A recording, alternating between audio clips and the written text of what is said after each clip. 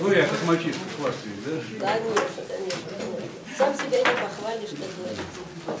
Нет, нет, я на самом деле самокритичный, когда мне говорят, люди обыденно сознают, ой, Стив какой-то умный, я говорю, я настолько умный, что знаю, знаю, Что я ничего не знаю.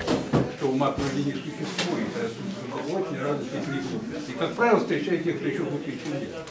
Ну, Хоть это мышление. да? Нет, ну как? Нет, это абсолютная шкала, как Кельвина. Вот представляете, это температура не Кельвина, а Кельвина, кем мы Ну, и так шкала. Представляете, на что ваша шапочка, на какие мысли навела? Может, ее еще раз потерять? Правда, Холгерга, логическая ошибка. Так вот, в хасидизме есть учение и иудаизма, Беларуси и так далее. Зла в природе не существует. Очень разных Степень степеней. добра. Да. Умер? Да, Пожалуйста, ну, интересно. распишите в журнале. Ну, это степень добра. Добро для, для тех, кто умер. Минимум, минимум. Ну, смотря кого. Это Гитлер Для, кого-то это радость, для кого-то это Нет, ну это другая ведь нет христианство, а Не убей и так далее. да. Хотя бы вспомнил, что он сопряжен на такое. Сейчас это единственный календарь, который выходит. Наш не заглох. И теперь в эту даме еще соединение статьи. Молодец, да, это хорошо издают.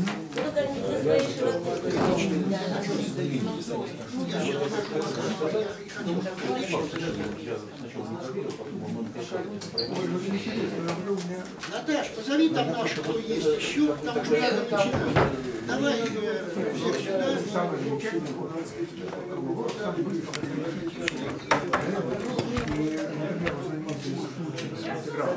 Лобачевский, когда все говорили, что надо прочитать книги, сейчас продать.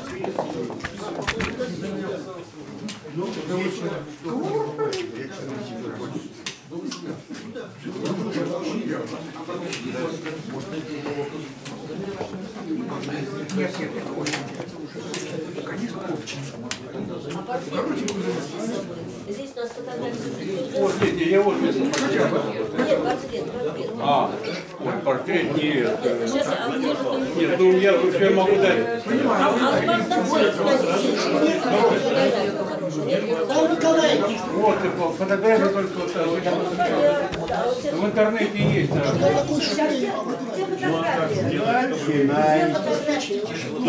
Где председатель? Внимание, внимание.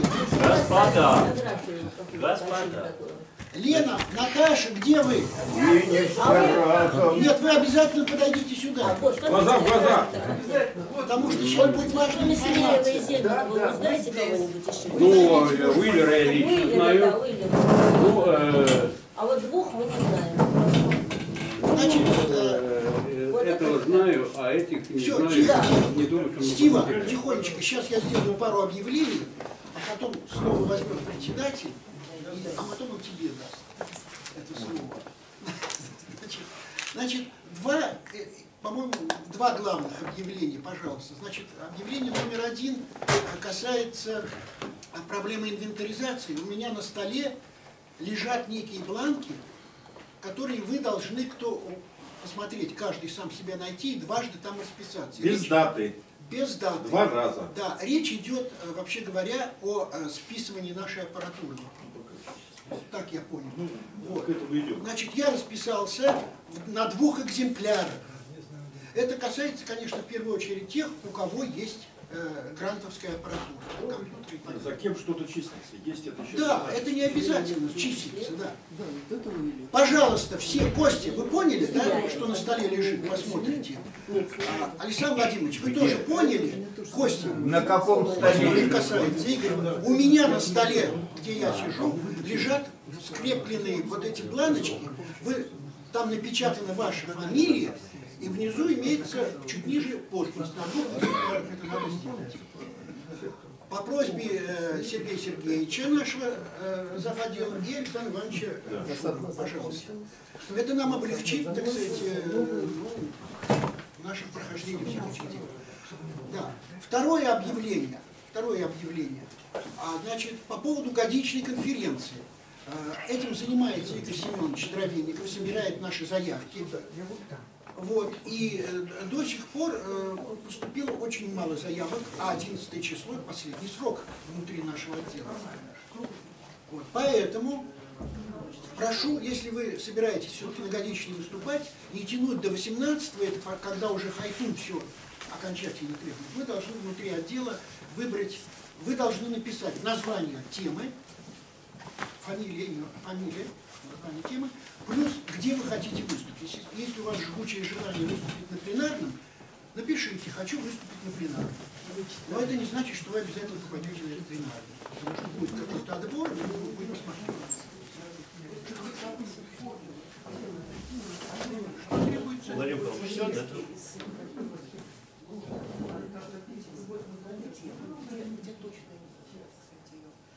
Какие выписки? Я не знаю. Нет, Вы должны знать, как называется тема. Выписка из протокола я не делал таких выписок, я не знаю, где они. Ну, мы начинаем наше заседание. Сегодня у нас совместное заседание семинара по истории астрономии и семинара по истории физики, посвященное памяти Абрама Леонидовича Зельманова. Значит, наш докладчик, сколько вам Видите, я по- прошу по дадим, сколько вы попросите. А, попросите. Ну, больше 24 часов я не могу, потому что. Часа, часа достаточно? ну, более-менее, да. Да. Ну все, значит, мы Хорошо. Ну, как, спасибо, конечно, за возможность э, э, выступить у вас с докладом памяти Абрама Ильича Зельманова. Э, он ну, не настолько известен, как, скажем, Пенроуз, который тут на днях был, где стояли в очереди, как мавзолей, чтобы на лекцию попасть. Э, Тем не менее, человек тонкий, глубокий, э, достойный того, чтобы его не забывали, и вклад в науку у него совершенно нетривиальный. Ну, статьи по космологии во многих энциклопедиях, это его. И, ну, есть иное количество учеников, вот я один из них с 57 года, с курсовой работы у него. Ну, я сначала э, скажу коротко так о биографии, затем о научном содержании его э, достижений, его подхода. Он родился 15 мая 1913 года в городке Гадич Полтавской губернии. Отец э, Липа, ну сколько пишут Леонид, Абрамович Зельманов, мать Ревекка Даниловна, девички Фонарева, э, Зельманова. И на границе 117-18 участка Востряковского кладбища они все э, покоятся, его родители, 72 года его отец, и 87 потом через пару лет его мать, и э, затем Бранжевич Зельманов. Э, Ну, его родителей мы хоронили, у него не было детей, и, прошу прощения, сейчас выключу. Прошу прощения, забыл выключить, хотя. Значит, э, алло. Э, я делаю доклад, так что прошу позвонить мне часа через полтора. До свидания. Так, я, значит, выключаю, чтобы... Значит, э, консилиум врачей запретил матери рожать, но один врач сказал, все-таки надо рискнуть. И он был единственным ребенком в семье. И они так его любили. И он так их любил, что это э, мешало ему в дальнейшей семейной жизни. Потому что жены, в конце концов, говорили, мы или родители. Он выбирал родителей. И так было неоднократно. Я не считал, сколько у него было жен, но когда, наконец, последняя э, мать его скончалась, э, уже он женился, у него была падчерица, которая сожгла все его архивы затем за ненадобностью для нее. Э, Ну и вот тогда он уже жил с последней женой до самой своей смерти. Значит, э, он родился, я как уже в Гадиче, э, Полтавской губернии. Э, Дед его учил ивриту и Талмуду.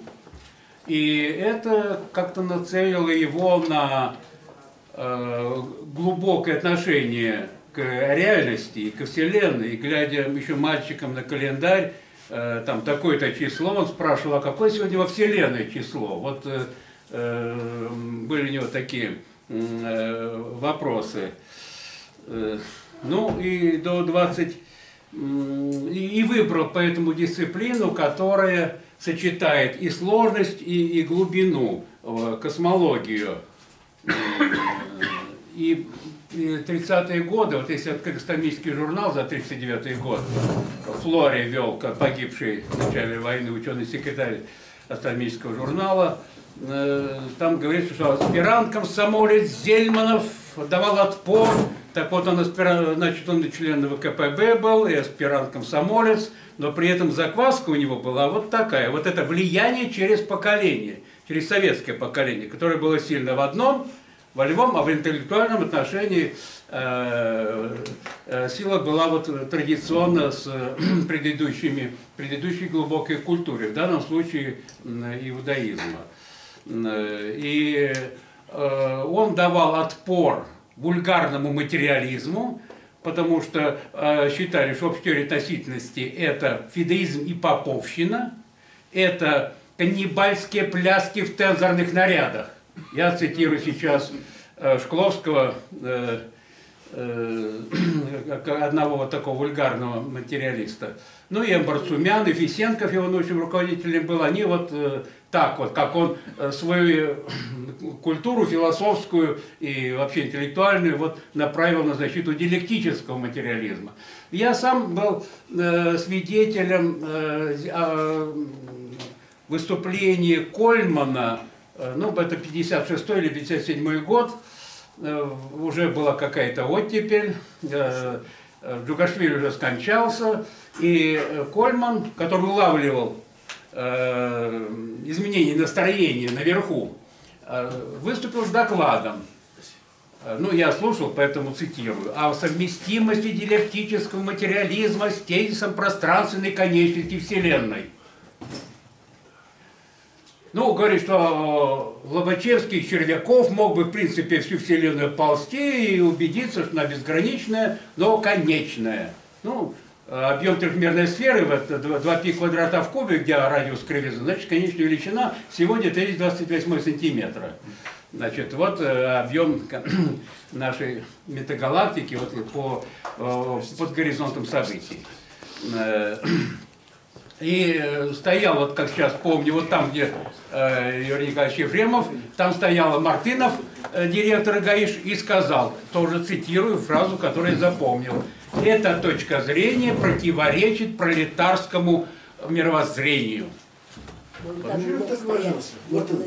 Нет, нет, нет, нет, я, я говорю, вот я стоял, та- там был, э, Зельма сидел, вел это семинар, а Мартынов тот стоял, ну это я, я так представляю, что вот, э, а, а тут вход был в конференц-зал ГАИШ, который с 52 года так и стоит, ну с 53 4 Значит, вот э, Зельман был вот, э, хотя сторонник диалектического материализма и э, лояльный к э, партии, тем не менее, вот э, противостоял вульгарному материализму, его здесь поддерживали Барцумян и э, Фисенков. Э, ну, он до 24 года жил со семьей в Харькове, затем до 27 года в Ленинграде, и с тех пор э, э, по 87 год, уже вот 60 лет, жил и скончался в Москве. У него был, э, значит, э, в 40, в 37 году он закончил, значит, ему было 24 года, Мехмат МГУ по астрономии. Э, 42 года уже он читал лекции по теории относительности в ГАИШа, Государственном институте Штернберга. Ну, Штерн тот только Кремль расстреливал, большевик. Э, Но при этом э, тоже принадлежал к звездному братству астрономов. Я уже прятал на обсерватории, что вообще нехорошо. Большевистская винтовки хранил в пятом году на, на Красной Пресне. Да, это к, к- к букве Ш в том названии, которое я сказал. Значит, в 1944 году он защитил кандидатскую диссертацию э, о кривизне сопутствующего пространства. Я читал это уже, там она хранится в библиотеке листочки рассыпаются.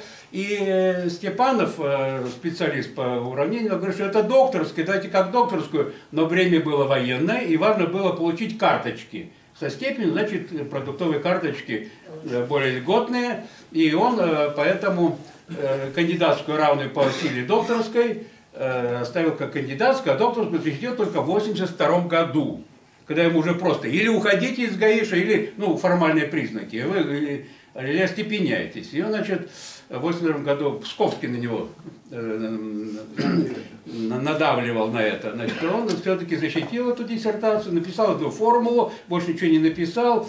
Ну и, конечно, прошел блестяще, потому что, ну, все знают, кто такой Зельманов. Это была просто простая формальность. Значит, докторская называлась «О поведении и свойствах трехмерных физических пространств». Э, ну, он был ну, чрезмерный эстет в науке. Э, и так редко публиковался, потому что ну, есть люди, которые э, не критичны и пишут, и публикуют, и публикуют. публикуют. У нас на Мехмате, прошу прощения, назывался научный понос. Да человек много поверхностных работ пишет, пишет, пишет. Ну, графомания – это филологический эквивалент. А он так, а некоторые так строго себе это здесь, что вообще не публиковались. Ну, даже, скажем, Эйнштейн у одного из таких, э, э что если он э, считает, что работа серьезная, значит, Эйнштейн смело публикует свою работу. Вот Зельман был такой, что он публиковал, но предельно редко. Первая работа, 56 год, э, а последний, 7 8 же после его смерти – Э, своих хронометрических инвариантах, э, и э, их было всего несколько. Хронометрические инварианты, кинеметрические инварианты, монадный формализм.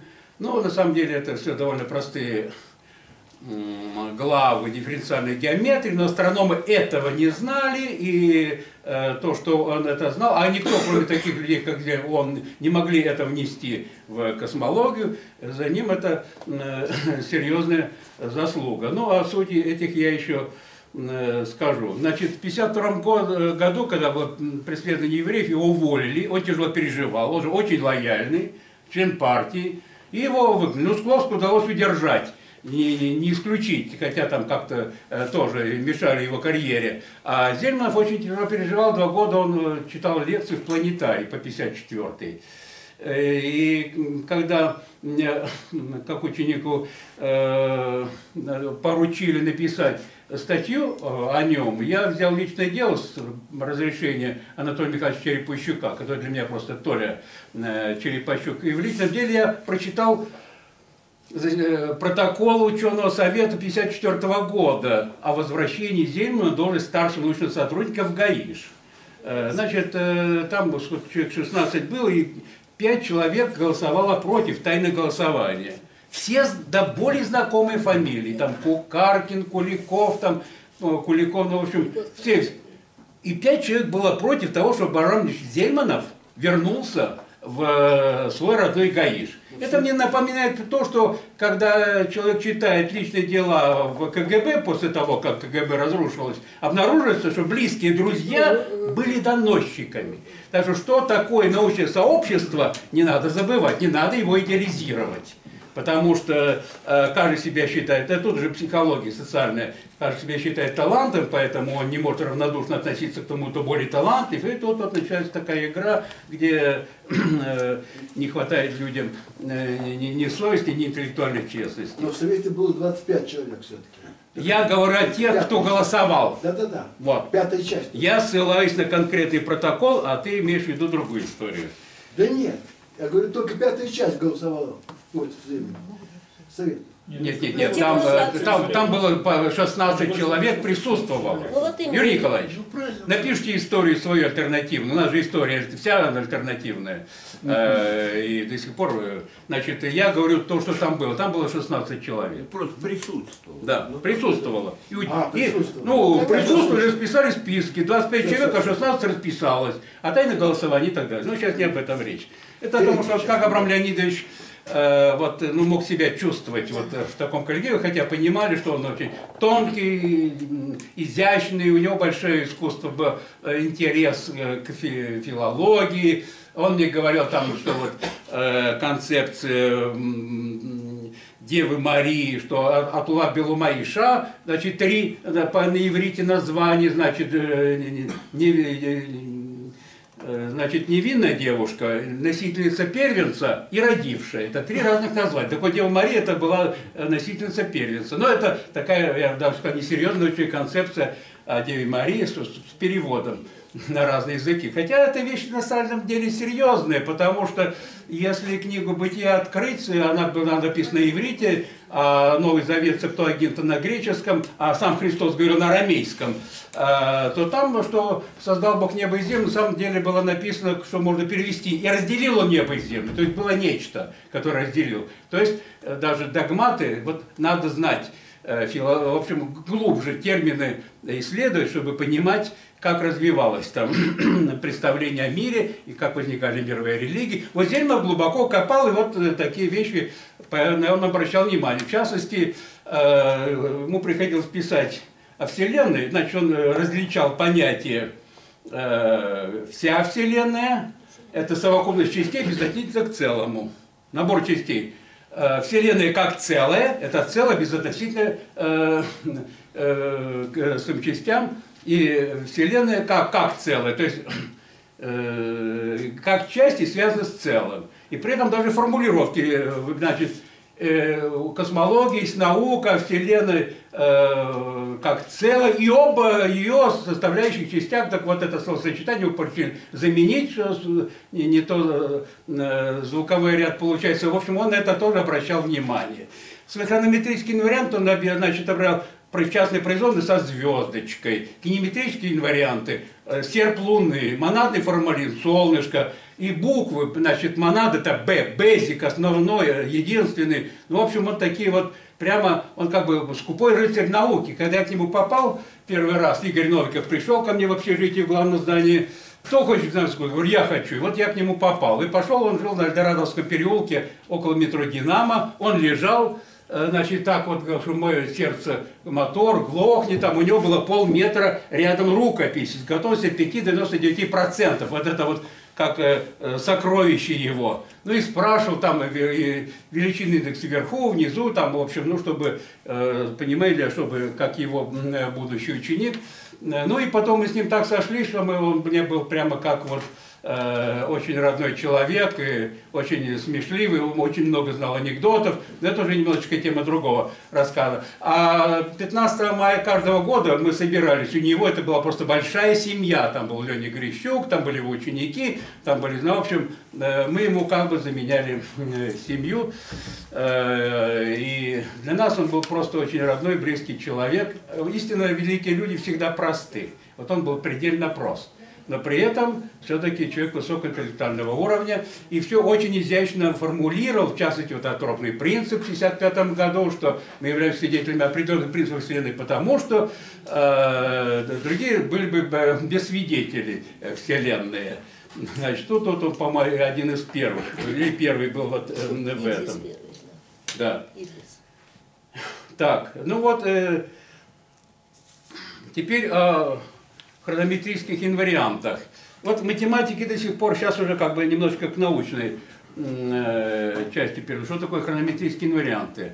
Значит, э, ну, история такая, как он мне рассказывал. Там была война, э, эвакуация, он попал в Ашхабад, и там где-то в аэропорту он подумал, а какую же величину, вот, ну, плотность энергии, там и потоки энергии, как ее описывать? Тензор энергии импульса, там, Т, меню, меню, меню это координат Т, X, Y, Z. Т время, X, Y, Z, три пространства координаты, вот раз, два, три.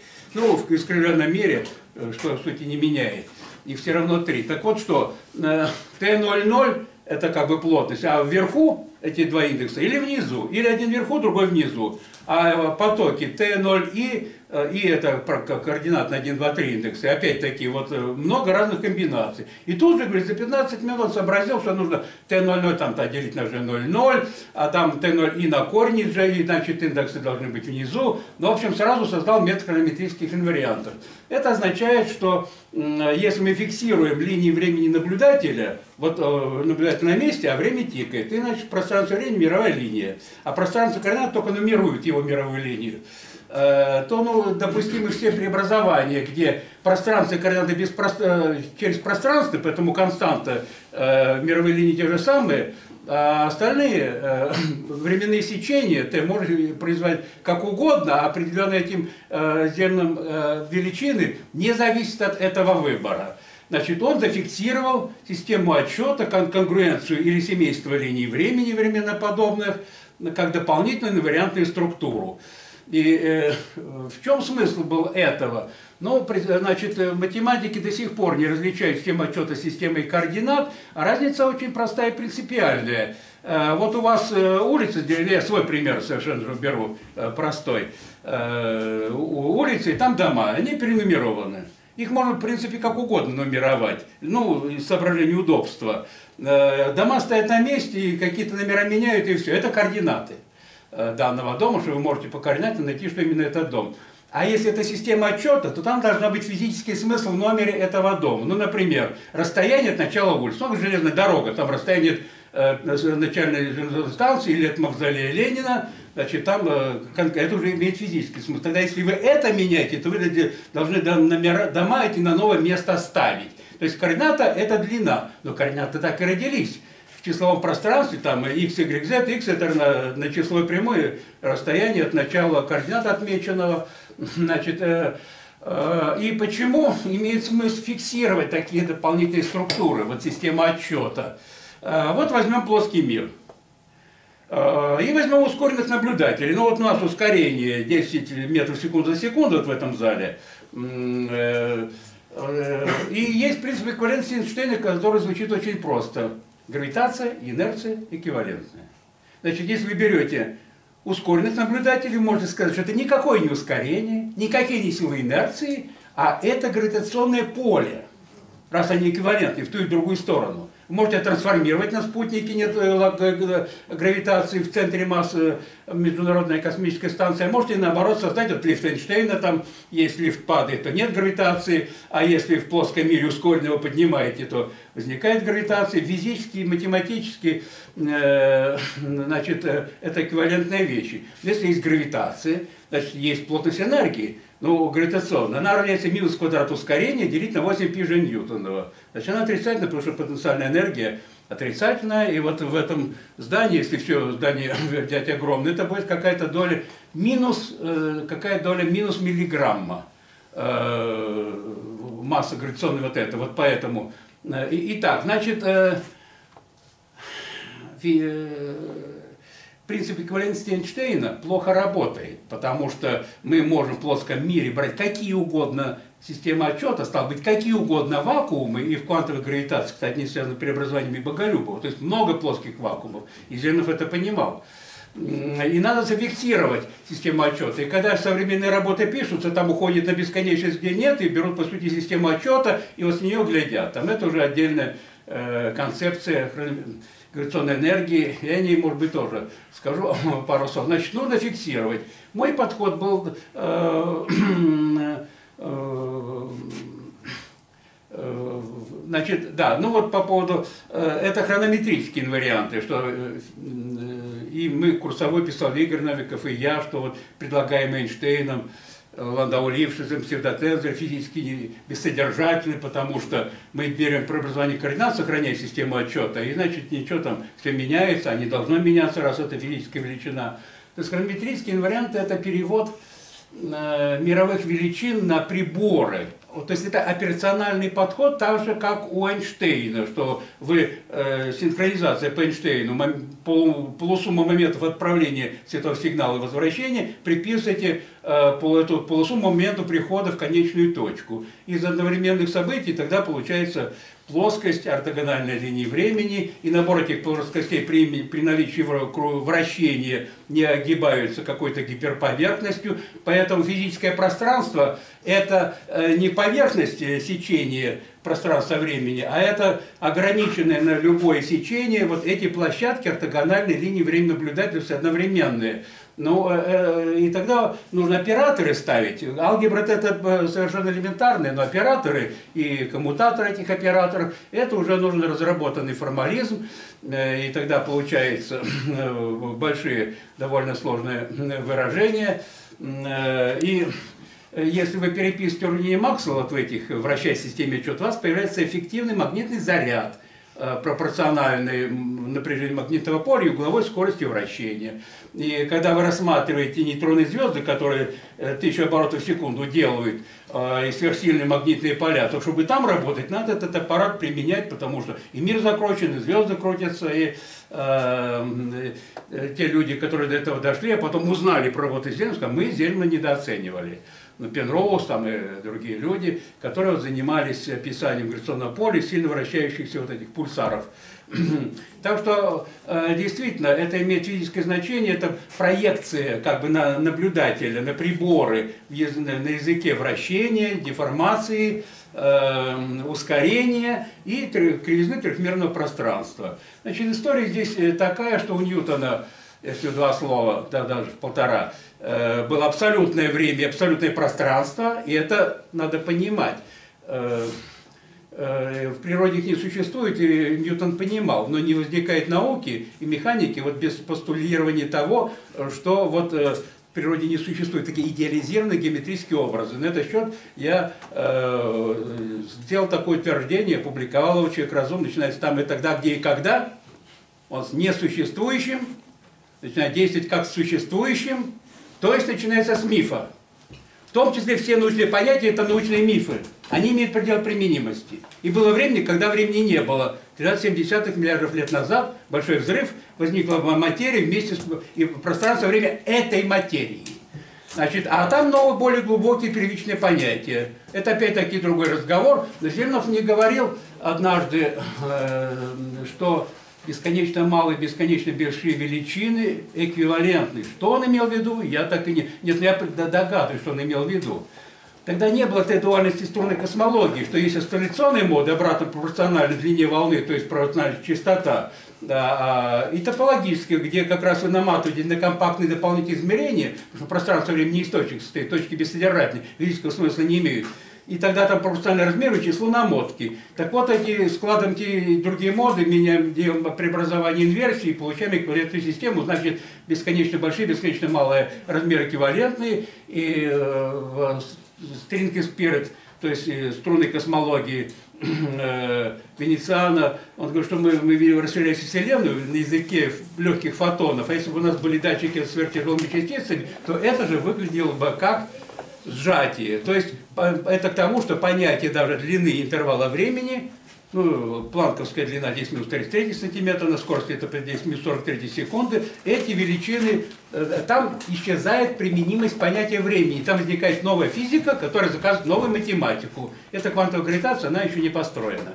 Значит, вот Зельмов это как-то улавливал, хотя еще не было никаких струнных теорий, это задолго было до этого, но он имел в виду, что э, линеек нет, они сделаны из вот, э, э кристаллов, там, э, ионы, электродинамика, а там единое взаимодействие, которое еще мы не нашли, и значит, там и понятия другие. Это я иллюстрирую термин, термин что все научные понятия, каждый имеет предел применимости, и сами зовут их обобщение – так вот, у Ньютона было, значит, абсолютное время, абсолютное пространство, а в общей относительности э, они соединились стали тенями, это работа 1908 года Минковского, а, так надо заниматься не тенями, временем пространством, а том, тем инвариантом, который бросает эти тени. Так что Эйнштейн называл теорию относительности э, не, не столько релятивной тест теории, как инвариантен теории. Это вот подход Минковского. Значит, соединили. И это называют 4 плюс 0 расщепление единого четырехмерного мира событий на нулемерные точки. Значит, время тикает, а точка фиксирована, значит, это мировая линия. Значит, э, и когда мы квантуем, там надо э, уже понимать, что расстояние между планковской не имеет смысла, так вот они не имеют смысла настолько, что даже бесконечно малые э, эквивалентны бесконечно большим. Э, ну, потому что, чтобы заметить и физически чувствовать, что бесконечно малое, нужно брать излучение бесконечной частоты, бесконечно малой длины волны, а в принципе, теоретически исследуешь, что даже столкновение двух пылинок или двух фотонов может, вы- сверхвысокой энергии может родить по массе всю Вселенную 2 на 10 56 степени грамма. Теоретически это возможно. Это, говорит, я сейчас говорю о пределах применимости привычных нам теорий. Э, И нужно к этому быть готовым, чтобы знать, в какую сторону физика развивается, когда вот мы от Ньютона переходим к Эйнштейну, а, а потом нам нужно уже постэйнштейновую космологию строить. И не- в тупики идти, а вот учитывать вот эту логику развития теории. Зельман говорил, что критерием истинности теории является то, что и в новом уровне знания э, выживает, что-то отпадает, а что-то выживает. Вот э, пространство и время вместе выживают. Но как наблюдать? Вот э, хроноберийские инварианты как раз и фиксируют систему отчета, где переводят четырехмерные мировые характеристики на язык наблюдаемых. Это физический подход. Это построение теории э, операционально. Э, Ну и тут он следует Эйнштейну, который для него был богом, э, и поэтому не мог э, э, выйти за рамки Эйнштейновского подхода, так что эта сила и Зельмана в этом же и была слабость, потому что сам Эйнштейн после гениальных теорий писал ошибочные теории, но сами ошибки интересны, потому что они были выполнены другими физиками на, в том же направлении двигаясь, но более адекватно. Это вот как бы драма развития научных идей, не ошибок, что можно экстраполировать, раз понятие имеет конец пределности. Так вот Зельман чувствовал вот этот смысловой стержень науки и даже какую теорию э, более близко к истине э, понимал, что понятие тоже имеет предел применимости. Э, Так что улавливал смысловой стержень. Это вот от того, что его учили Талмуду, а там тоже основания, догматы э, в детстве, и вот эта культура мышления, э, она работала и работает. Так, ну и его также интересовала, например, относительность бесконечности. Ну, на самом деле простая. Вот возьмите конус, и там или гипер- гиперболоид, сечения разные. Есть э, конечные сечения, эллипсоиды, а э, есть э, гиперболические сечения, бесконечные. И он даже говорил, что бесконечное может быть конечной частью конечного. Ну, потому что, ну, ну, скажем, мир Деситера, наша метрика э, всем квази Деситер, это однополосный гиперболоид в пятимерном мире Минковского, четырехмерной, трехмерной сферы ортогональной оси времени. Ну и, конечно, еще расслабительные плоские гиперплоскости э, трехмерные. Э, Но четырехмерная кривизна отлично от нуля. В мире Деситера, как известно, где все сводится к скалярной кривизне. И вот они бесконечны, а все-таки в основании лежит вот эта комплексная сфера Деситера, конечного радиуса кривизны 10-28 сантиметра и полной массы порядка 10-56 грамм.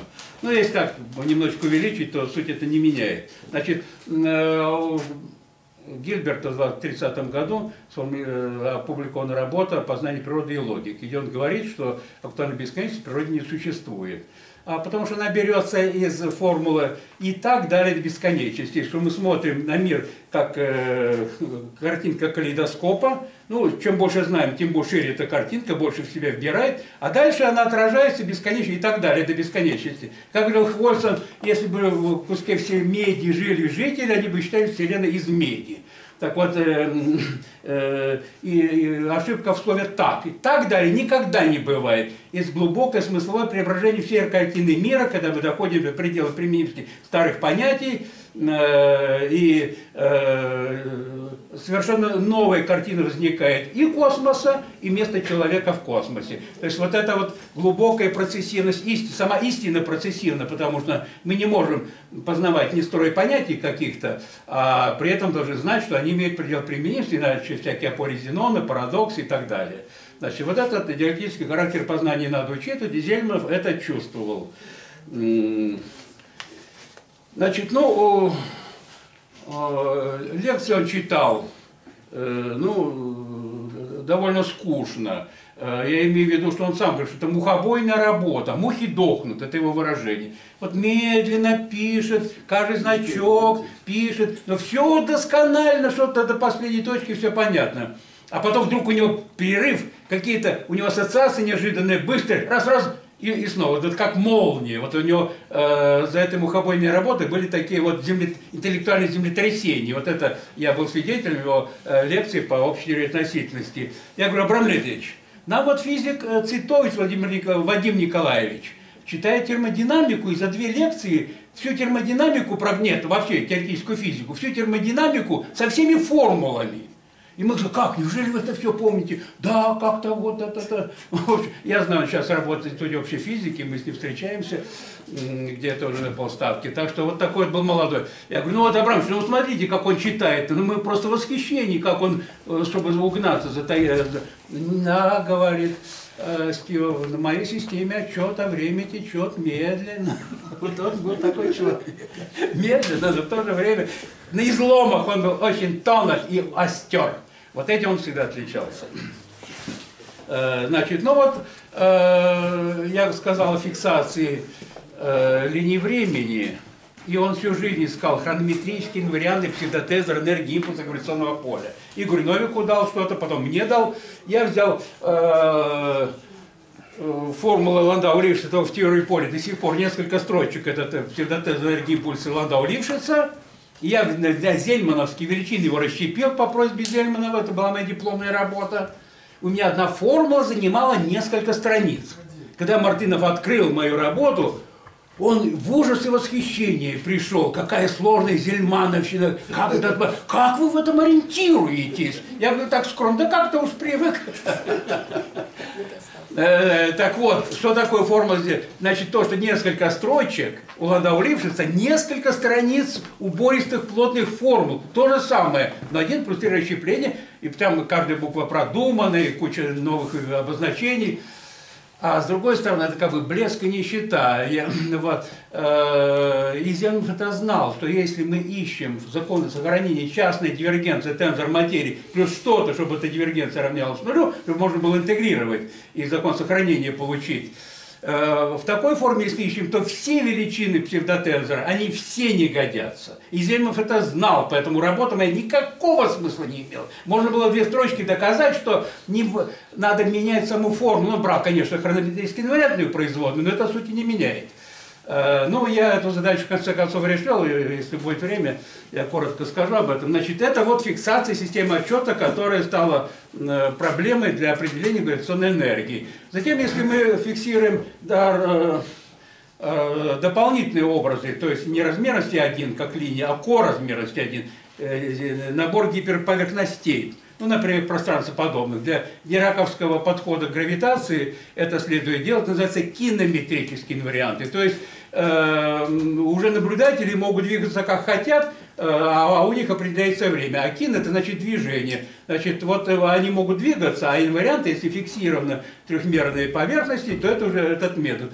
А потом, э, э, в конце концов, что мы берем просто поле, векторное поле единичных четырехмерных скоростей наблюдателей, даже может быть и подобных векторов, и они определяют сами и конкуренцию, и ортогональные площадки, если они интегрируемы, то вот это трехмерное слоение пространства-времени. То есть на самом деле это такая э, простая э, геометрия расщепления представление пространства, четырехмерного пространства времени, как семейство гиперповерхностей и каких-то там э, трансверсальных линий времени, которые могут быть ортогональны, могут быть не ортогональны. И вот это э, его был общий метод, э, монадный формализм, где уже просто фиксируется в эквивалентном виде векторное поле. Ну, четыре скорости наблюдательные, при определению единичные. Значит, и тогда хронный кинометрический вариант – это частные случаи.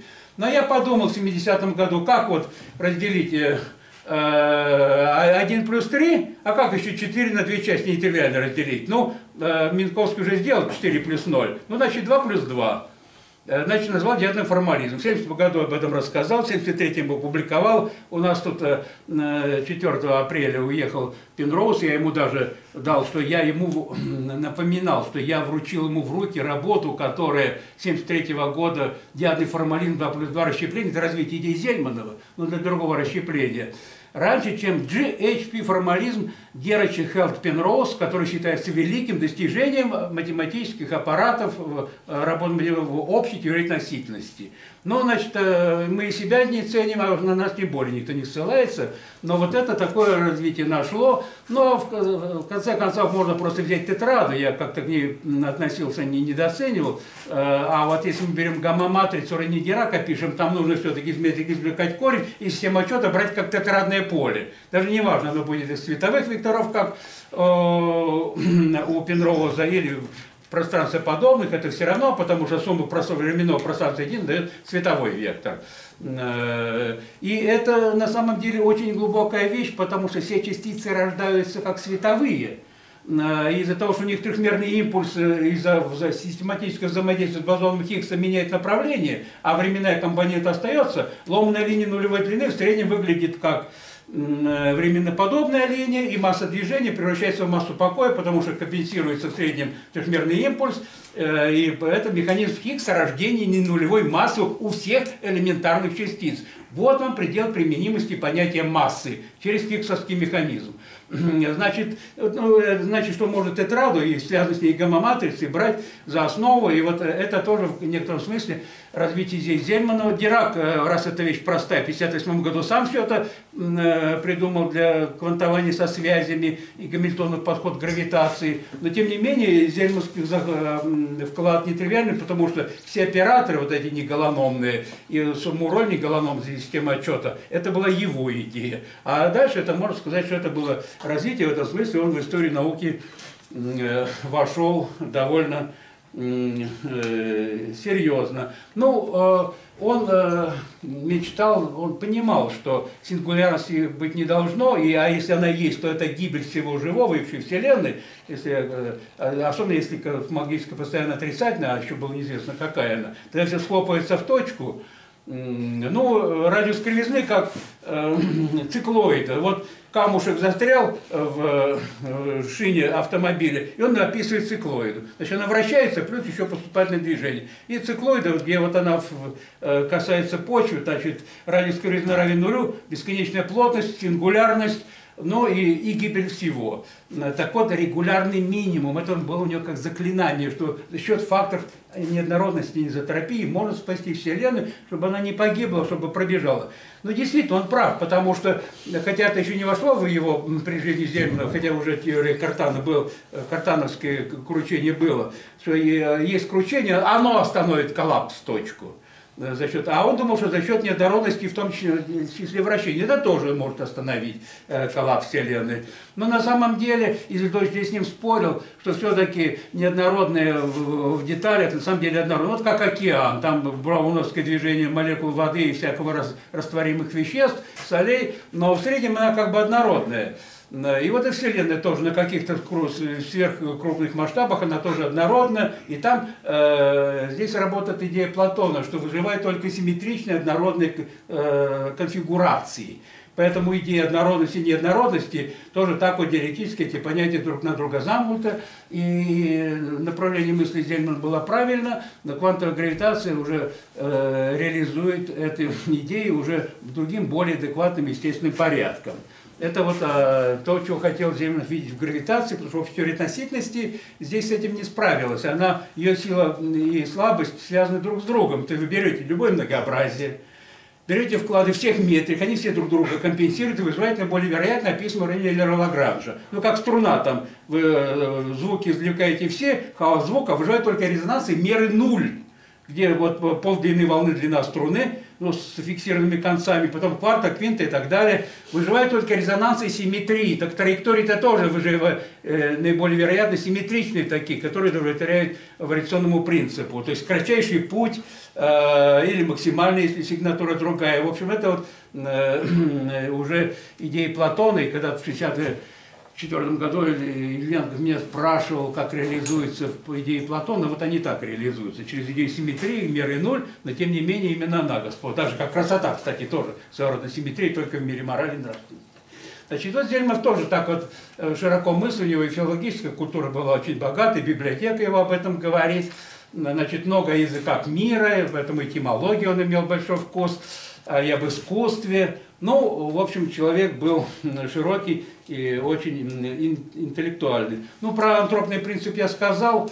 Э, ну, еще куб Зельманова, значит, три константы.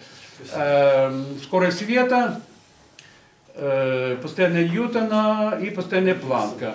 Ну, э, ну, раз три, это значит такой кубик. И вот, значит, вот том темном углу, это еще не построено единой теории. Но на самом деле это все укладывается и, и- и другими э, словами, что современная физика – это деформация физики Ньютона, ну, скажем, релятивизм. Это деформация механики Ньютона с параметром деформации единицы на c, где c скорость света. Э, 300 тысяч километров в секунду, 3,1 сантиметра в секунду.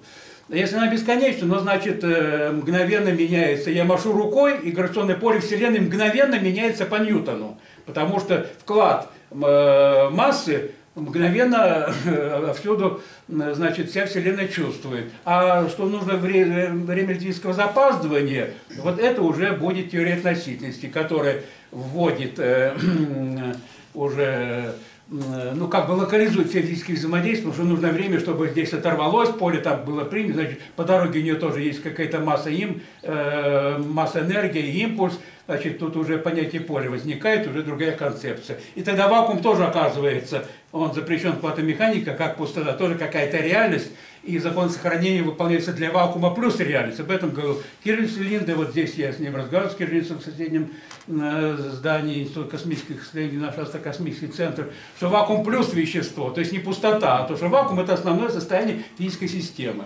Значит, радикально меняется и картина мира, и Зельмов вот чувствовал, что, правда, квантовой гравитацией он еще не занимался, но на своем уровне он уже чувствовал, что будет радикально меняться э, картина мира, и вот куб э, э, Зельманов, ну, э, ну, что еще сказать? Ну, я академический час э, проговорил, значит, я могу сказать, ну, что я, э, значит, Зельмов сказал мне, что ему не везло с учениками, Э, Игорь Новиков за- заприметил.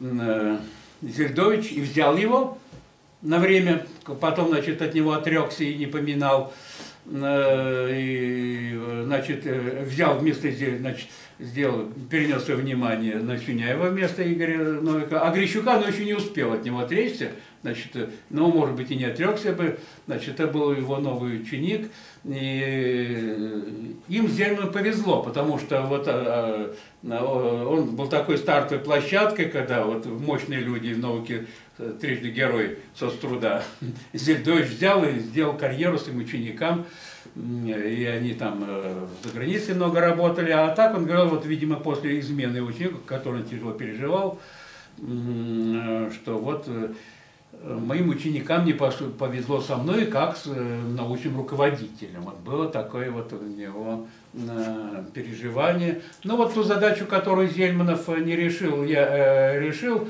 Я, э, ну, формулы описать не буду, я просто э, как мехматянин все-таки, э, нам читали великие люди, значит, Курш алгебру, Лев Семенович Контрягин дифуры, э, Юрий Николаевич не даст соврать.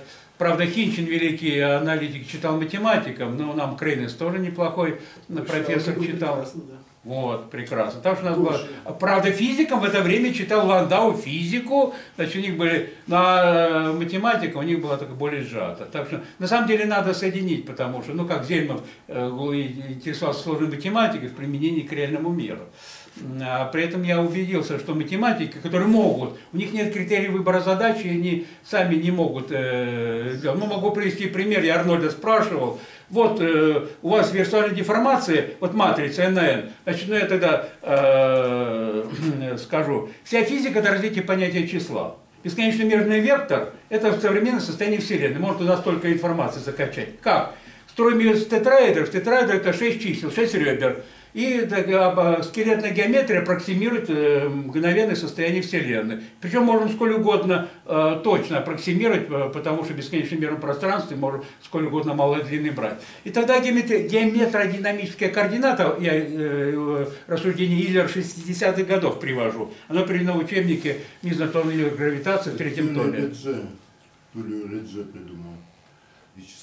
Я сейчас говорю, да, он применил эту э, реджистику известную, э, что геометродинамическая координата точно задана, тогда импульс э, в силу принципа неопределенности, совершенно неопределенно. Физика может измер... работать с тем, что измерим. Поэтому времени не существует. Я цитирую просто 47 страницу из этого монографии основного объекта общей теории относительности четырехмерной геометрии пространства времени в природе не существует, если выйти за рамки э, классического приближения. А у нас, фундамент, фундамент мира у нас квантовый, поэтому все эти понятия имеют предел применимости. Это вот иллюстрация того, с чего я начинал.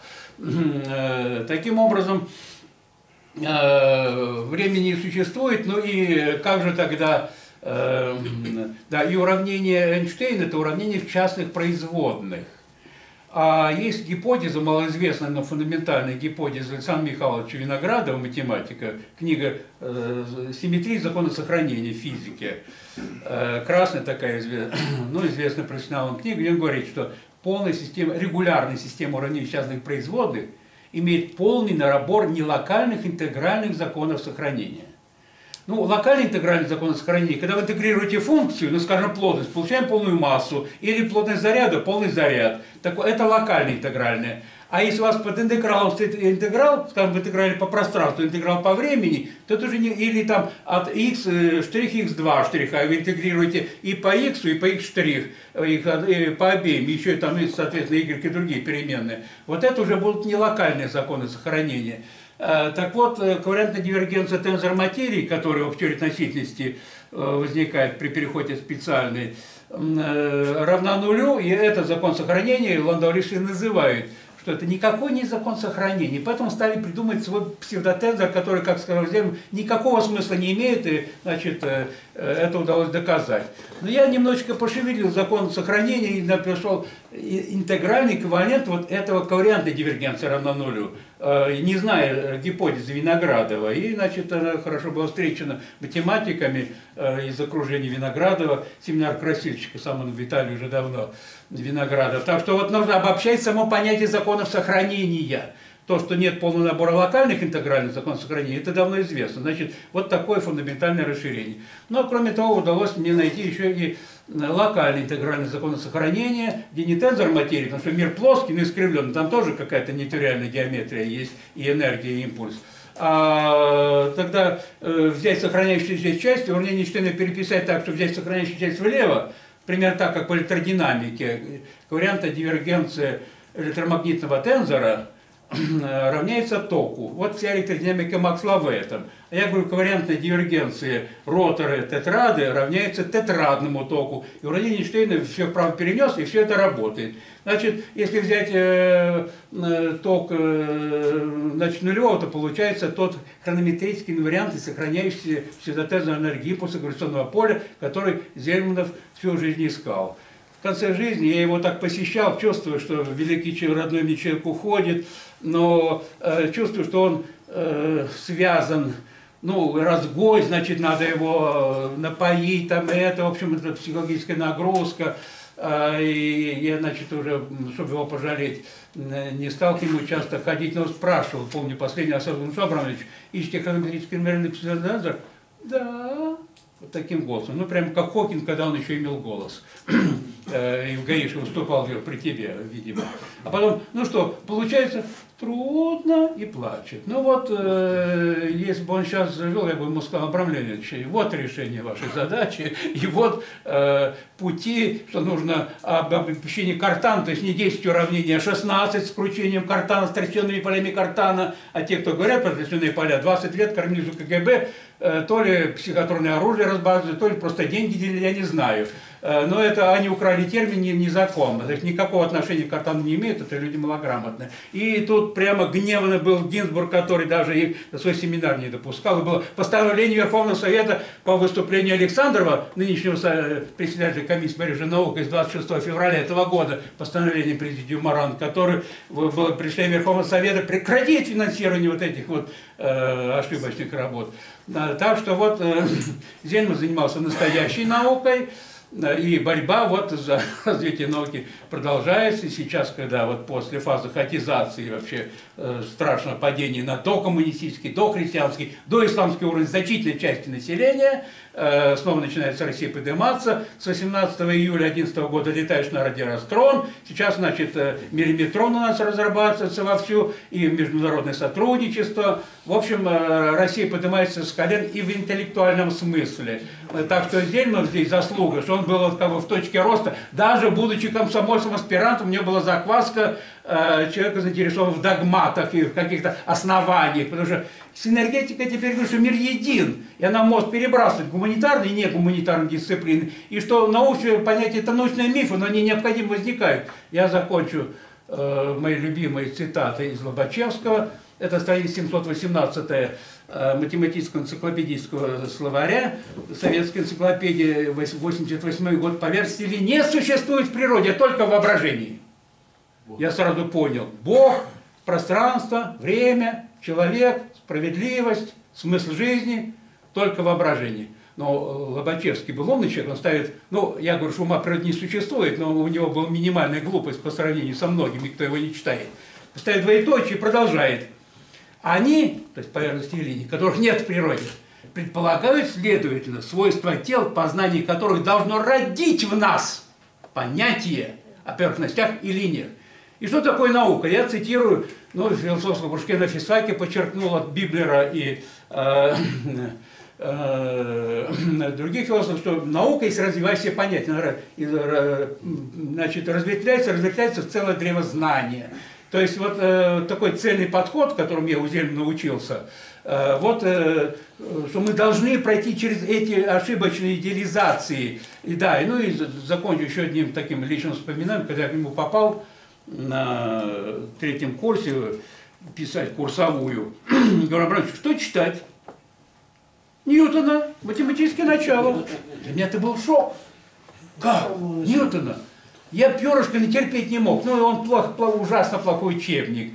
Но когда я в библиотеке Гаиш открыл Ньютона в переводе Крылова, я был восхищен. Там и статус на сцене, момент рождения, метод флюкси, то есть дифферен- дифференциальное уравнение. Там такие прозрения, там много конкретных очень сложных вычислений, м, прямо как у Эйлера, прям, в общем, э, конкретная работа, не по верхам скакал. В общем, действительно, вот этот подход, и мой совет, поэтому всем слушателям, читайте первоисточники Ньютона, Эйнштейна, Библию, Коран, э, Гегеля, а все остальное это уже э, приложится. Значит, ну вот примерно э, то, что я хотел сказать о своем э, учителе, который как ученый для меня до сих пор жив, и наследство его развивается.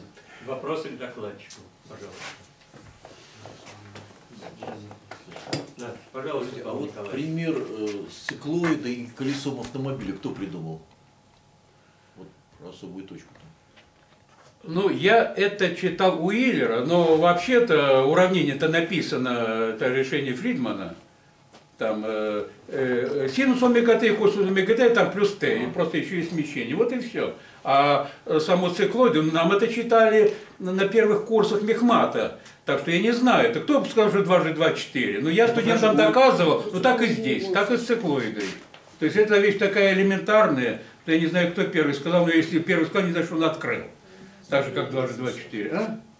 Шенвагрина Гюйгенс, Гюйгенс еще. Вот, Гюйгенс, да, нет, ну там известно, что и обратные квадраты, но это уже история науки в узком смысле слова, где вот специалисты по истории науки лучше знают, но я тоже кое-что знаю, но сейчас э, это уже немножечко э, будет далеко от Зельма. Значит, кто первый? Ну, ну, е- не, есть принцип Арнольда.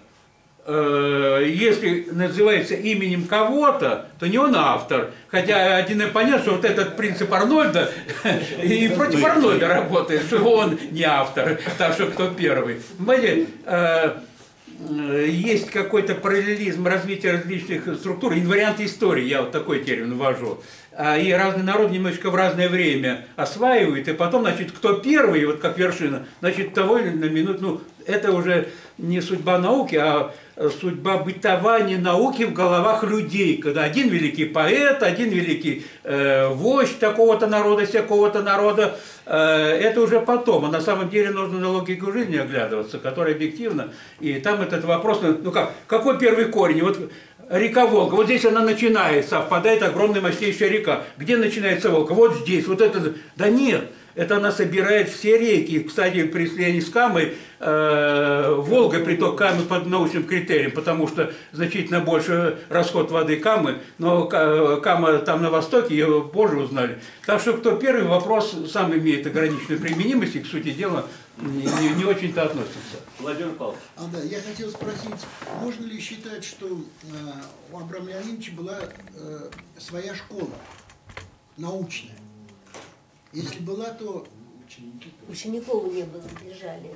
нет, ну не сразу убежали. потом- Нет, нет, нет, нет. а, значит, здесь история такая. Да. Значит, у Абрама Леонидовича несколько вот, э, э, я говорю, что он э, идеализировал Эйнштейна, но на самом деле все ученые это карлики, которые сбираются на притче гигантов.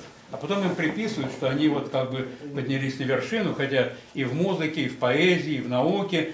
Тут было много безвестных авторов, которые там и комплексные числа, и, и прозрение, и э, что Земля вокруг Солнца вращается. Аристарх Самосский еще более двух тысяч лет назад об этом говорил, и другие бы повторяли, и Кеплер э, даже об этом знал. Коперник, прошу прощения. Значит, вот э, э, были ученики, и вот ну, ученики некоторые боготворили Зельманова. Я-то относился как к рабочим вещам, потому что геометрически взял, э, э, значит, любил геометрию, и тогда это все там элементарно. И понимаю все значение, что это э, импульс в нужном направлении довольно серьезный, недооцененный. Но вот э, э, именно те ученики, которые были, не делали науку, а восхищались Зельманом, как Зельман восхищался Эйнштейном, один из них Дмитрий Рабонский, который до сих пор живет уже в Штатах, или в Швеции, издает в Швеции журнал The Abraham Zельманов Journal. Мы ученики Зельманова, но кто-то э, махнул рукой на Зельма, ушел к Зельдовичу, э, кто-то там уже бе- без вести пропал, Э, ну, ну, фамилии называть не буду, были меня такие ученики, совместные публикации, там были и Харбедия, Твердохлебова, Закир. Значит, ну, вот именно те, кто им восхищался, для них Земля Бога, они до сих пор живут журнал. Но не, это нельзя назвать школой. Э, Ну, это, ну как бы, ну, локальная группа, я не знаю, как школа, ну, ну школа, ну, школка, я скажу. Школка. То есть, вот э, в истории космологии Зельман заметное место занимает, потому что он писал ключевые статьи во всех энциклопедиях, справочках и даже публиковался, что он не просто с отраженным светом следит, но и сам понимает то, о чем пишет. И парадоксы космологии, э, значит, гравитационные парадоксы, это все он продумывал, все это он детально.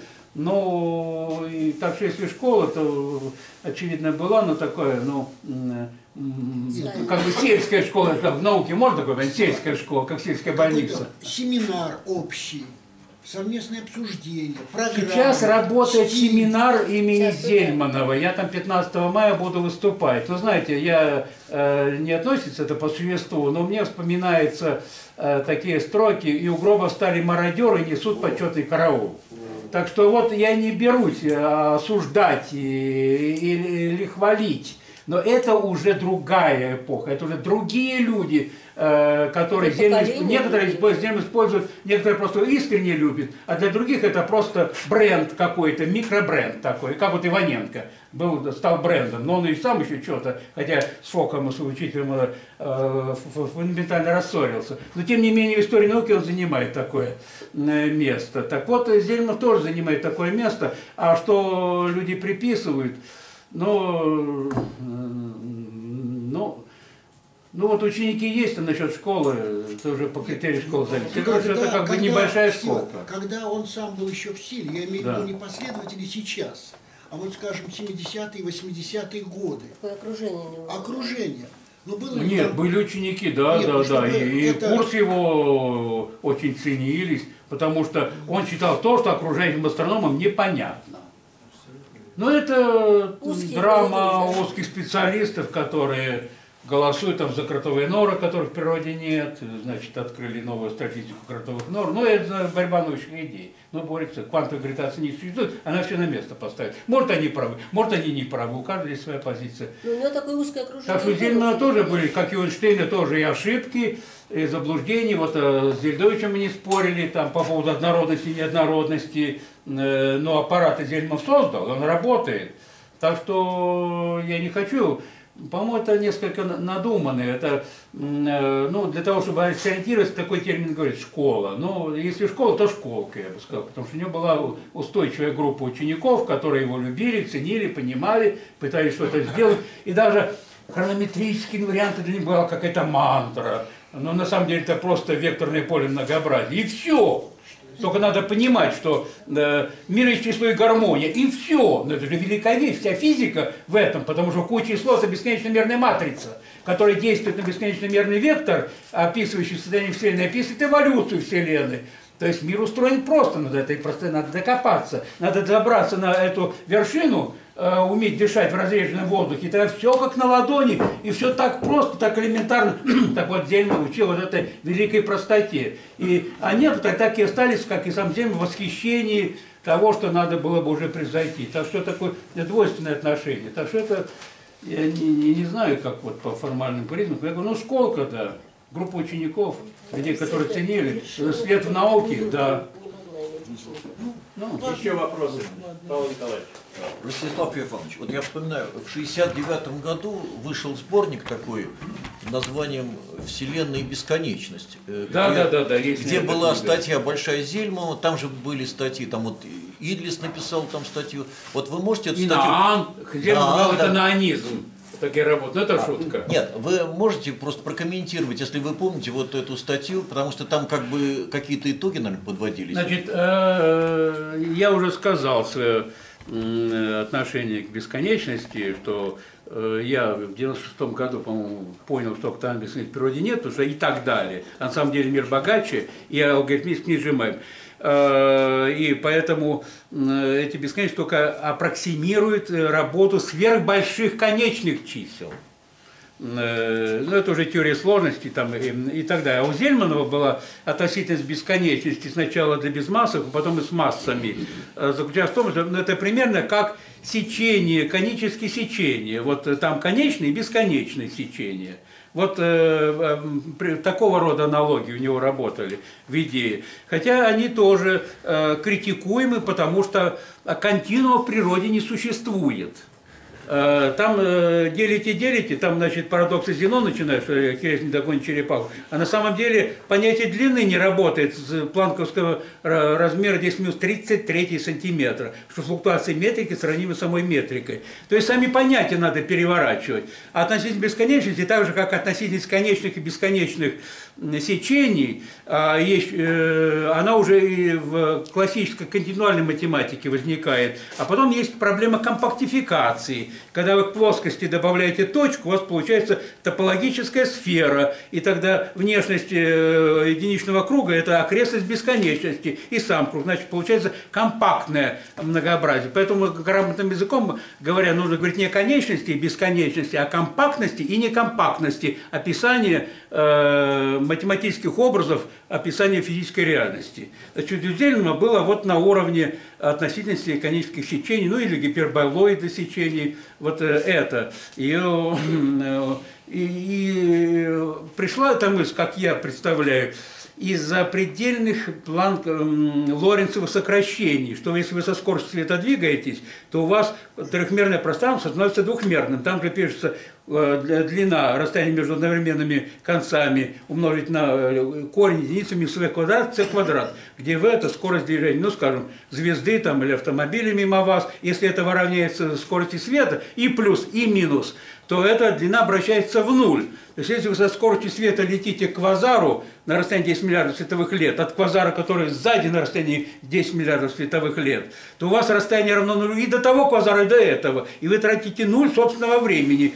Мгновенно отражаетесь, возвращаетесь на Землю, Земле прошло 20 миллиардов лет. Это парадокс близнецов в предельном выражении. А чем отличается тогда, что туда летите, а не туда? У вас из-за релятивистской операции света вся полусфера схлопа слабых движения с неограниченным голубым свечением, а сзади антиапекс с неограниченным красным просто исчезает. Так что существование полумира, световые образы, они как раз первичные, потому что преодоление нулевого расстояния за нулевого собственного времени нельзя считать движением. Это исходное световое состояние. T плюс Э, где тета ct соединится, и t минус из комбинации световых времен у вас возникает и время, и пространство. То есть в фундаменте мира все по-другому. Но Зельманов еще до таких квантовых вещей не, не шел, но уже уловил, что там что-то должно существенно меняться, и даже на представлении линейках приборах, реальных физических, он выводил, что бесконечно малое эквивалентно бесконечно большому. И вот бесконечное сокращение э, длин – тоже можно превратить конечную длину, даже бесконечную, в нулевую. И вот э, здесь получается, что уже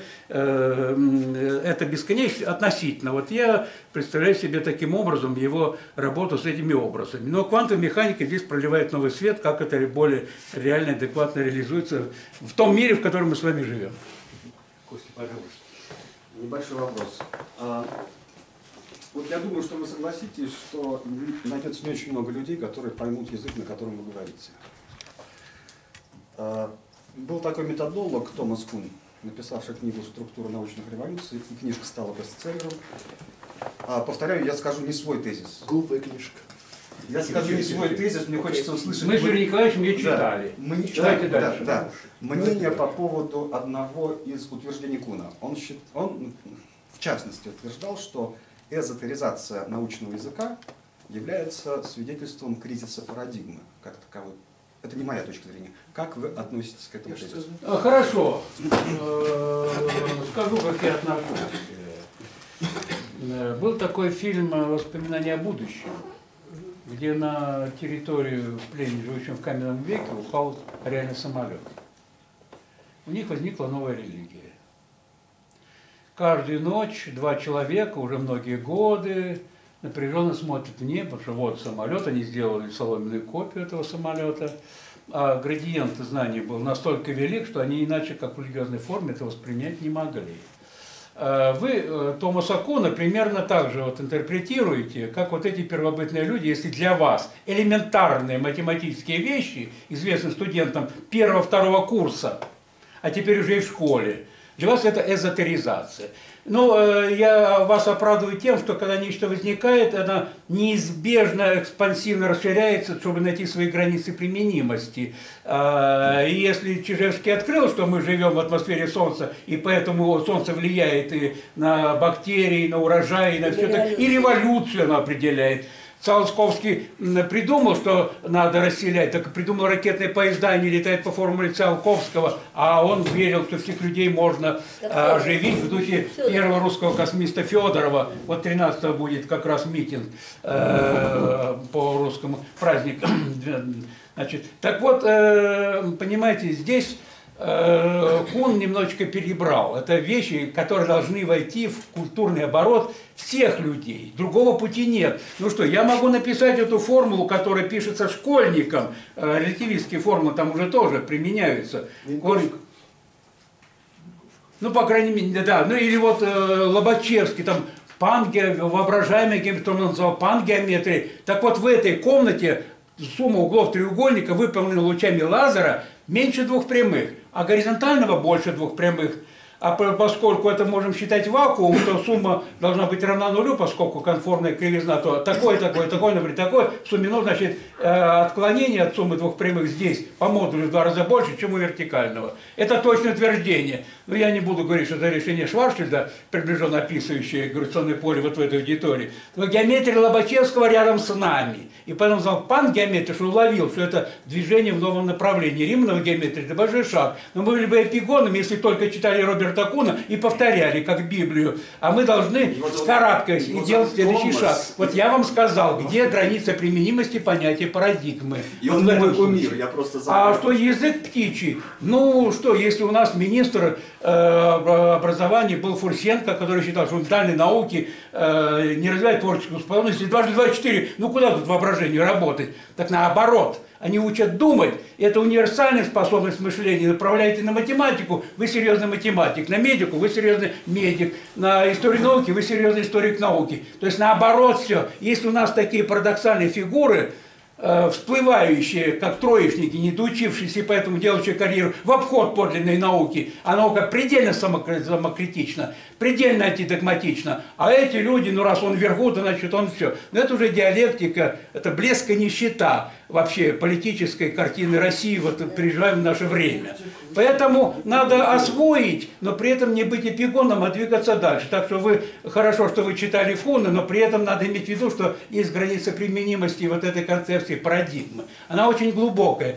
Она говорит, что э, нет последовательного развития, что э, древо знания, оно, во-первых, и корни у него, их все больше корней, и ветви расширяются. Э, Так это грамотный подход, потому что я улавлю в парадигме Ку- Куна великое как бы продвижение мысли. Это спектральный подход к э, развитию науки. И также я говорю и про человечество. Вся духовная история, в том числе э, история науки, это единый ветвящийся противоречивый процесс. И нужно выбрать такую, такой подход, чтобы весь спектр мировых религий, в первую очередь мировых, в том числе вероучение коммунизма, э, был бы истина не, не в том, что вот женщина человек или мужчина вместе. Так вот, нужно рассматривать, и когда вы это осознаете, что они друг друга дополняют и все друг друга отрицают, при этом, ну, Гегеля просто надо читать, как понимать, как это соединяется. Тогда вы в, в- в более широкий взгляд, более широком культурном контексте будете рассматривать. Поэтому мой вам ответ следует и э, концепцию Куна очень ценную рассматривать в более широком культурном контексте. Это снимет те противоречия, которые вы усмотрели. Спасибо. Еще вопрос, пожалуйста.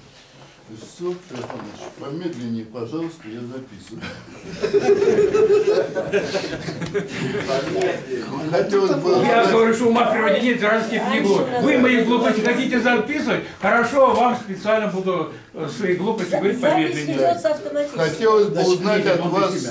Да. что Зельманов считал своими высшими достижениями в жизни, и что вы считаете его достижениями в жизни? Вот почему он жизнь прожил не напрасно? В науке, в смысле, вы В науке и в жизни. Так, Человек. ну, все-таки я сделаю такую оговорку. Вот здесь на профсоюзной 92, а это э, обручу э, 30 А, э, там э, федоровцы собираются систематически. Они меня любят, и я их люблю. Хотя атеист, а они федоровцы, так как что надо перестроить. Значит, э, Федор считал, что все люди, э, народные демократы, это живые мертвецы, которые, говоря словами Толстого, э, как мухи к кучке блевотин, они к социализму стремятся, чтобы всех накормить, а вот только одно сплотить человечество, это воз- долг перед отцами, вернуть их к жизни, опираясь в том числе на науку. Это вот это. Так вот для меня, почему я их люблю и почему я туда хожу.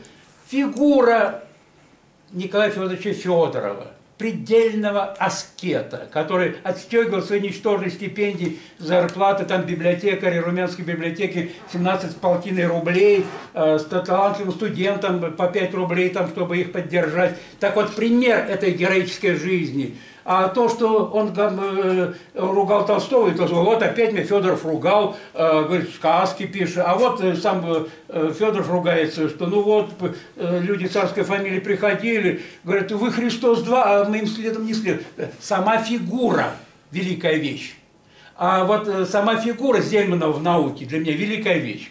А если вот формально что, значит, э, система выбора, система отчета калибрует вакуум, который бесконечно много. И то, что этого не понимают до сих пор, э, проблема для многих гравитационной энергии не решена. А эту проблему э, гравитационной энергии Фадеев, дам ссылку, и даже статью могу его э, переслать вам по электронной почте, 82 года УФН, считал фун- центральной, главной проблемой современной теоретической физики. И вот в этом Зельманов был нацелен именно вот на это и искал, и дал импульс. Значит, э, э, э, то есть э, понятие системы отчета как вопрос, э, как путь к решению проблемы вакуума, калибровки вакуума, что вакуумы могут быть разные, и что и тут это пересекается с идеей Кирница, что вакуум плюс вещество. Вакуум вывалился вещество, вот образовалась материя. Значит, вот э, это э, направление. Э, Затем вот куб Зельмана тоже очень интересный э, образ того, что новая физическая теория – это деформация старой теории еще по одному параметру деформации. Вот э, три параметра, значит, вот об этом еще Ландау, там Иваненко, там и э, Гамов, по-моему, писали еще молодыми статью, что вот э, и в в основании физики все просто устроено, нужно понять вот эти физические константы новой теории, будто они друг с другом связаны, я убежден. И тогда будет новая картина мира. Значит, Зельман двигался вот э, в этом направлении. Ну, его гениальная догадка об отно- относительно бесконечно малых, бесконечно больших величин. Зельман не дожил до Т-дуальности струнной космологии, о которой я тут бегло упоминал.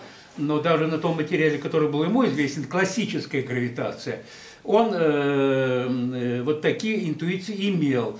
И сила, и слабость Зельма оказалась в том, что он боготворился научного бога Эйнштейна. Я уже говорил, что Эйнштейна после гениальных работ были ошибочные работы, по-своему интересные, не бредовые, а вот искал там, но э, не было аппарата. И просто как бы э, те, кто следует, должны как раз это, в этом направлении эту работу доделать. Так что вот э, это тоже, я считаю, его э, серьезно. Ну и, конечно, формулировка антропного принципа тоже она вошла в литературу.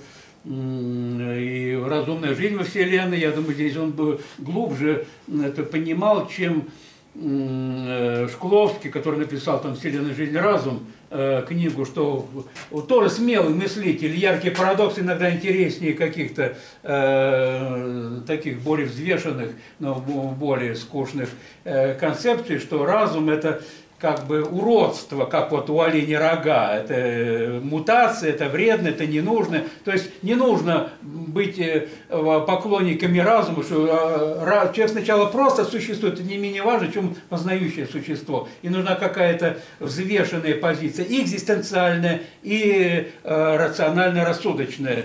Э, во- Вот у Зельма вот это вот чувство меры было, но он, вот он так боготворил Эйнштейна, что никак не мог отречься делать следующий шаг после теории относительности. М, Ну а э, в этом году выходит моя статья «Пост-Эйнштейнова космология, двоеточие, кручение, струны, дуальная симметрия». Э, Ну, я не знаю, что там получится, но во всяком случае направление э, такой работе дал Зельманов. Но я э, Эйнштейна очень уважаю и считаю, что нужно читать именно Ньютона и Эйнштейна, с этого надо начинать. Но тем не менее нельзя на этом останавливаться, иначе мы будем просто эпигонами, а сам Эйнштейн говорит, что он не, не, не, не- гениальный, не талантливый, он просто любопытный человек.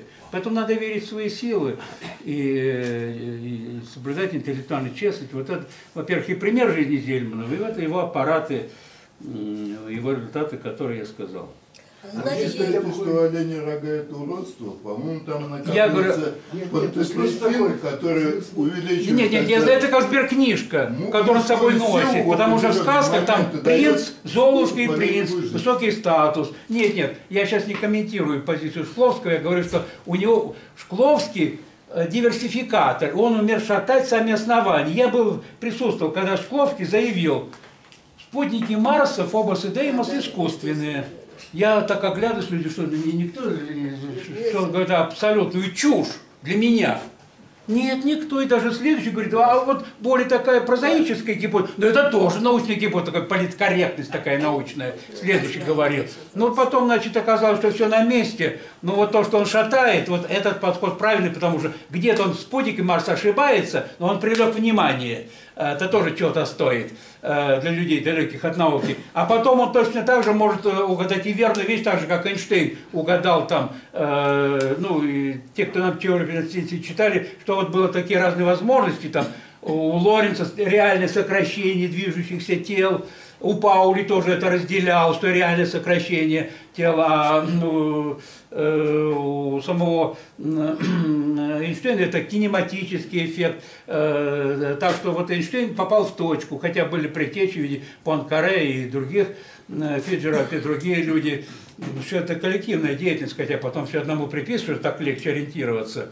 Э, так что вот э, э, Шкловский интересен именно теми, надо брать вот этот дух подхода Зельмана, дух подхода Шкловска при всех его. Но не соглашаться, иначе вы просто, ах, великий Шкловский, так и но это музейные отношения, это мы похороним, не прикасайтесь к этому. Это, но те, кто делает, это, знаете, как акушеры и хирурги, они прозаически отключившись от всего, спасают какую-то реальную вещь делать. Так вот, в науке, в науке надо быть хирургами. Когда операция сделана, тогда можно податься всяким эмоциям. А там нужно работать как профессионал. И вот Землев учил тому, что он сочетал такие эстетические отношения к науке и к ученым, сам дух поклонения, э, уважения к ученым, и в то же время сам э, двигал эту науку дальше. А насколько он был известен при жизни за рубежом, Абрам Леонидович Космологов? Вот вы говорите, сейчас они признают, что-то недооценили, а при жизни... А, это когда... Печатался ли он там где-то?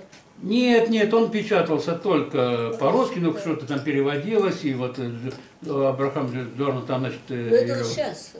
Да, а но нет, вот когда они поняли, что нужно вращение учитывать и делить эти компоненты, учитывать роль системы отчета, я считаю, что они недооценили. Я говорю, что там как, эффективный а магнитный заряд. При жизни не знали. Ну, а при жизни его даже в ГАИШ не хотели, не, далеко не все хотели, чтобы он вернулся. Не, не мерила эта политика. Нет, ну, в общем,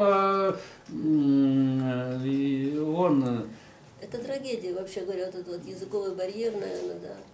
Ну, понимаете, есть два деления. Это как бы вот один, это вот по формальным признакам, как Академия наук превращается в клуб директоров, а Нобелевские премии покупаются потому что это окупается, этот бренд. Нобелевский лауреат, значит, ему дают. А чтобы за руку не поймали, ну как же, мы вот двух ваших стариков тоже делали Нобелевскими лауреатами, там, Алферов и Генбург, они нам ничего не платили, но они дожили, понимаете. И Вавила Черенкова, там Черенков и телегу написал на Вавила, чем занимается составляться. А потом оказывается, это Нобелевская премия, когда ему растолковали, там, там э, и так далее. Так что это уже не к науке относится, а к бытованию науки в головах людей. А наука, она располагает к скромности. Когда вот говоришь, вот сидишь отраженным светом, а когда вот смотришь сложные, прекрасные работы, которые ты плохо понимаешь, и кидаешь, ты уже разобраться, ну тогда ты, значит, в той группе, которая двигается. К сожалению, много из-за этого уходит. Да, да, да. да. И Зельмов был одновременно предельно скромный, и в то же время интеллектуально честный человек, и остромыслящий. И вот, а конкретные научные результаты, вот я сказал, что в астрономию внести, это э, с точки зрения геометрии не такие уже сложности, как я сказал. Но для астрономов, которые там мало что понимают, для них это откровение. Я, на нет, я вот приводил пример, и тогда уж, чтобы пояснить. Э, я слушал курс Арнольда, а, соавтора теории катастроф, что вот у вас n-матрица, там n квадрат элементов. И деформация матрицы, все n квадрат элементов э, нужно немножечко изменять, вариации. А еще версальная деформация, где только одна строчка, э, n элементов только, а n квадрат, э, деформируется. И она улавливает самое существенное, что касается всей матрицы, потому что матрица может дегенерализовать, там, значит, существенных переменных будет меньше, собственно, значение искать, и на этом языке. Так что я говорю, Арно, Владимир Игоревич, вот э, есть три типа Петрова, а по вашей теории катастроф, как устроено все это пространство, если чуть-чуть эти типа, ой, это трудная задача, тут большое ядро, ядро это вырождение, это нуль функций. Э, нет, это но когда я э, с другой стороны пошел не, не Жордановой формы, а с спиноров э, Пенроуза, там это просто деформация одномерного комплексного многочлена четвертой степени. И сразу же на языке Арнольда получается комплексный ласточкин хвост, и все пространство, как на ладошке э, спиноров велик, эквивалентный тензором кривизны, по которому гравитационные поля. То есть знание языка и знают, что тебе нужно. Даже математики не могут помочь. Я говорю, ой, как я, я дружу с математикой, дружу, как я вам завидую. Мы какой-то гнутие трубы там изучаем с третьего курса, вы анализ 3, анализ 4. Все. Нет, ты, значит, не завидуй. В математике нет критерия выбора задач. А мы работаем с реальностью. Нас греет то, что это не какие-то мерные абстрактные Инженерные структуры с двойными числами, там, бог знает, гиперкомплексные, там, не ассоциативные, бог знает чего, а э, тот мир, в котором мы живем. Так вот, нужны люди, которые э, знают, что им нужно, и благодаря этой культуре, вот э, именно взаимоплодотворение вот этого математического культуры, работы с этими, с рождения новых математических культур, и того, что вам надо. Только там рождается новое. Только как вот между мужчиной и женщиной молнии проскакивают, тогда обновление э, на- наследственного кода, в том числе социокультурно-наследственного кода в виде прогресса науки. Можно еще один вопрос? Э, э, Скажите, пожалуйста, вот как вы считаете, ну, ситуация такая, что все-таки действительно э, Абраме Леонидовиче не очень широко известно, а хотя величина голоса.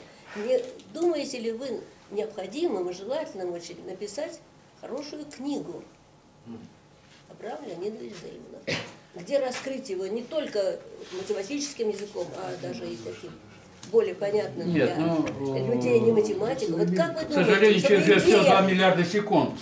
И приходится отвлекаться на Ну доклады, Долг ученика.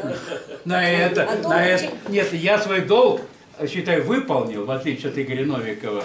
И, ну, Леня Грищук тоже, у него были новые результаты серьезные. А у Игоря Новика книги совместно с Зельдовичем, которые очень сильно повлияли. Это заслуга Зельманова.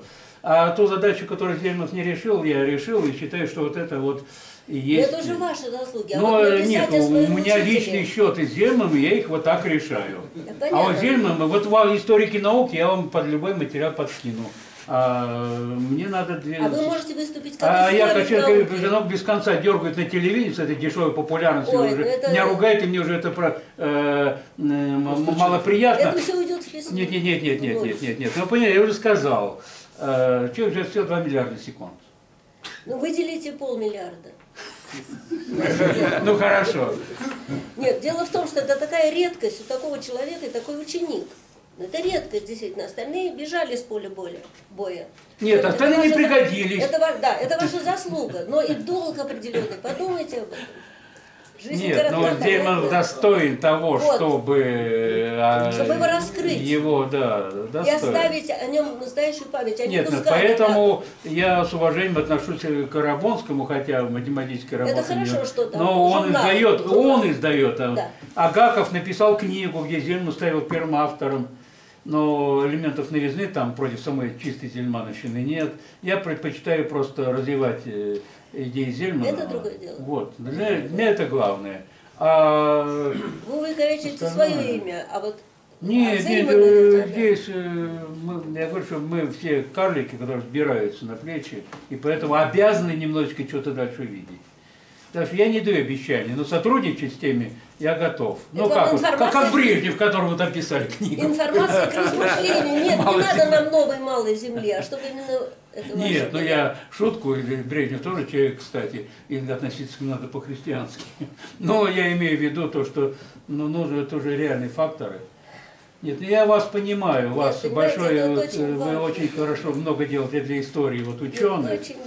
Но для меня Не это живой человек, а не это не Ким Ир Сен в, в гравитации, там не Ким Чен Ын в гравитации. Нет, просто дело в том, А, что не все- живой человек. Не все это могут, а вы бы смогли. Ой, Ну, ну, хотя ну, бы затравку, а потом около Вы вас знаете, ну, ну, ну, ну, нет, ну это просто нереально. Скажем, много красивых женщин, а жена одна, и надо быть ей верной. Ну, людей много, а о учителя один, и надо... Но А? э, вместо книги существуют и другие жанры. Вот я... Нет, вот я дарю, о, Нет, это вот, маленькая, раска- это где моя страницы. статья «Памяти Зельманова». Это две Меня страницы. попросил Каретников, я написал. Это две страницы, это мало. Нет, ну это три, ну больше три, ну четыре, они больше не дают. Мы все туда пишем. В историко-астрономические исследования, наверное. Да, я хотел спросить, да, но просто... Да нет, ради бога, если речь идет об отдельных статьях, как бы мозаику Да, такую, да, а потом да. уже... Ну вот, э, А это и Я- будет Люди. затравка. Перед началом э, Нет, вот в- этого в составлении мозаики э, Зельмановщины Зельманова я готов участвовать. Я посмотрел, что есть в интернете о Зельманове, и выяснилось, что очень мало, фактически одна страничка. И- и- и- Э, или друг даже друга- один абзац друг друга, друг друга Я, я сегодня перед да. смотрел. Да, да, да, я И, смотрел. в общем, э, ну как-то фигура, несомненно, заслуживает гораздо больше. Хотя бы, ну, может быть, вы можете статью написать, это для вас вот по материалам сегодняшнего доклада. Нет, для вот, э, историко-астрономических Труды исследований. вашего института, Вот это- это, вот очень хорошая историко-астрономические мысль, Да. исследования. Да, да, да. Нет, было я готов вот в том русле того, что я сказал, я В могу. том русле, Да, что да, да. Конечно. Вообще у меня около 60 ограничений. минут, а там я могу Ну, Потому что да. ваши личные воспоминания драгоценные, Да. ваши рассуждения, э, э, обсуждения научных концепций невероятно интересны. Я человек Да. со стороны, я И слушаю. они провоцируют даже тех, кто со мной Да. не согласен, потому что для них Томаскон это Да. э, Вот, земли, а для меня это один из великих людей, но не Все, более. что вы сегодня говорили, было невероятно интересно. Но хотелось бы, конечно бы, чтобы вот, ну, мы записали, вот э, сняли, это замечательно, хорошо. Но э, хотелось бы, чтобы еще вот, вот Хорошо, я письменно- сделали для. И кроме устной речевой деятельности, есть еще письменная речевая деятельность, Да. больше ответственности, больше основательности, больше Да, степень да. объективации. Да. Хорошо, буду я ваш социальный заказ принимаю и статью, если требуется, вот. Тем э, более записан ваш доклад, вы можете получить даже текст, наверное. Тем более сборник существует и будет существовать. Да, Хорошо, хорошо. Я письменный эквивалент Очень того, что я здесь почирикал, изображу. Да, это было бы здорово. Вы хотите еще... Да, я хотел бы сказать, что пора перейти к выступлению. Да, мне Есть тоже кажется, люди, да. которые знали Кто хочет выступить по докладу? Владимир Сергеевич. Да, пожалуйста. Я могу э, рассказать немало. Я тоже учеников Зимина. Хоть Ростислав Феофанович этого не упомянул. Так, Да, один плюс один плюс два расщепления. э, и одни. так, ну что я могу сказать? Значит, э, я познакомился с Зельманом в 59 году. Значит, э, я был в группе профессора Иваненко. Он был моим научным руководителем. И когда я учился на физическом факультете значит, э, Дмитрий Дмитриевич договорился с Зельмановым, чтобы мы проходили практику. Это в 59 году у Зельманова. В то время у, у Иваненко было довольно много учеников, значит, э, чет- четверо нас было. И вот мы четверо э, пошли в ГАИШ и проходили практику. Ну тогда не преддипломная, она просто практика называлась. Значит, это был э, Галкин, э, Филиппов, Сережа, да. Сережа Филиппов, э, Дубинин Виктор и я, значит, четыре человека. Вот. Я вот с большим удовольствием вспоминаю вот те, то, то время, когда мы проходили эту практику, потому что он с нами работал очень, очень, так сказать, так тщательно и, я бы сказал, ну, качественно. То есть э, мы приходили, он нам читал сначала э, какой-то материал, рассказывал про хронометрические варианты, потому что это было тогда очень свежо. Это называлась статья 56 года, когда она была опубликована. Вот. И вот он нам рассказывал про хронометрические варианты, про космологию рассказывал и давал нам задачи, которые мы должны были считать. И вот он раз, нас разделил на две пары. Значит, я был э, с Галкиным, а вторая пара Филиппом Дубининым. Каждому дал по задаче. Значит, задачи были такие. Записать, э, записать уравнение Максвелла, значит, хронометрически в вариантном виде. Вот. Я не знаю, они были записаны до нас в таком виде или нет. Вот. Но во всяком случае мы это дело считали. Причем он давал паре, потому что значит, счет непростой, тем более для студентов для нас это было сложно. Вот, и вот мы э, на пару считали, вот у, меня была, так сказать, вторая пара уравнений Максвелла, а у других пара, первая пара. Вот он мы считали, считали дома, приходили и сравнивали результаты. И вот, конечно, сразу не, не совпадало у нас. И вот он нас опять отправлял, мы опять считали, опять приходили. И вот когда мы это все посчитали, он наш это уже выбранный, значит, результат, он этот результат взял и сказал, что если вы хотите где-то опубликовать эти материалы, то меня предупредите. Вот. Ну вот, тогда мы себе, конечно, мы были студентами зелеными, для нас еще публикация, что-то было, так сказать, э, великое. Вот. Но потом я только познал, что такое, значит, у Абрама Леонидовича спросить, что я хочу что-то опубликовать. Значит, вот Ростислав Феофанович, наверное, не затронул эту тему, а там, сказать, это тоже много можно сказать об этом. Вот. Значит, вот это практика. Вот там же мы Я познакомились. говорю, что я не ставил фамилию свою, а то бы во всех работах моя фамилия стояла бы первой. Вот так говорил тема. Ну, Потом у него были и совместные в конце жизни. тут есть и другие тонкости. Психологические особенности Да, да. соавторства. Да, да. Вот, значит, это вот э, то, как мы, э, как я познакомился и начал работать. Потом, ну, в течение всей его жизни э, последующей, я как с ним общался, с ним общался, и довольно, порой довольно тесно общался. Несколько раз мы были с ним за границей вместе. Значит, вот в 62 году мы были э, в Варшаве на третьей международной гравитационной конференции. Вот там я познакомился еще и с Пенроузом, который вот сейчас вот приехал, вот это, так сказать, это все упоминали. Вот, в прошлом году было 50-летие той конференции, куда тоже мы ездили, там были. Вот там были мы с Зельмановым, вот тоже мне воспоминаний много, как там все происходило. Вот. Ну, что я могу сказать? А, Ну, можно говорить только, э, только замечательное, только, так сказать, возвышенное, но можно сказать немножечко, может быть, и что-то такое не столь возвышенное. Я обратил внимание на его чрезвычайную осторожность. Осторожность в те, в те годы. За границей мы все, как так сказать, мы понимали, что там есть люди, которые за нами присматривают, все. Лишнее слово сказать, конечно, нельзя. Вот. И вот Абрам Леонидович очень и очень, так сказать, вел себя осторожно. Помню, во время экскурсии к нам подошел человек и так сказать, про- спросил, вы откуда? Значит, из Польши или там, сказали из России. И он нам протянул какие-то материалы на русском языке. Так что было с Абрамом Леонидовичем. Он побледнел. Да, это могли быть какие-нибудь Да, листовки. просто, так Ну, сказать, с работы да, выгнали только по пятому пункту. Что Да.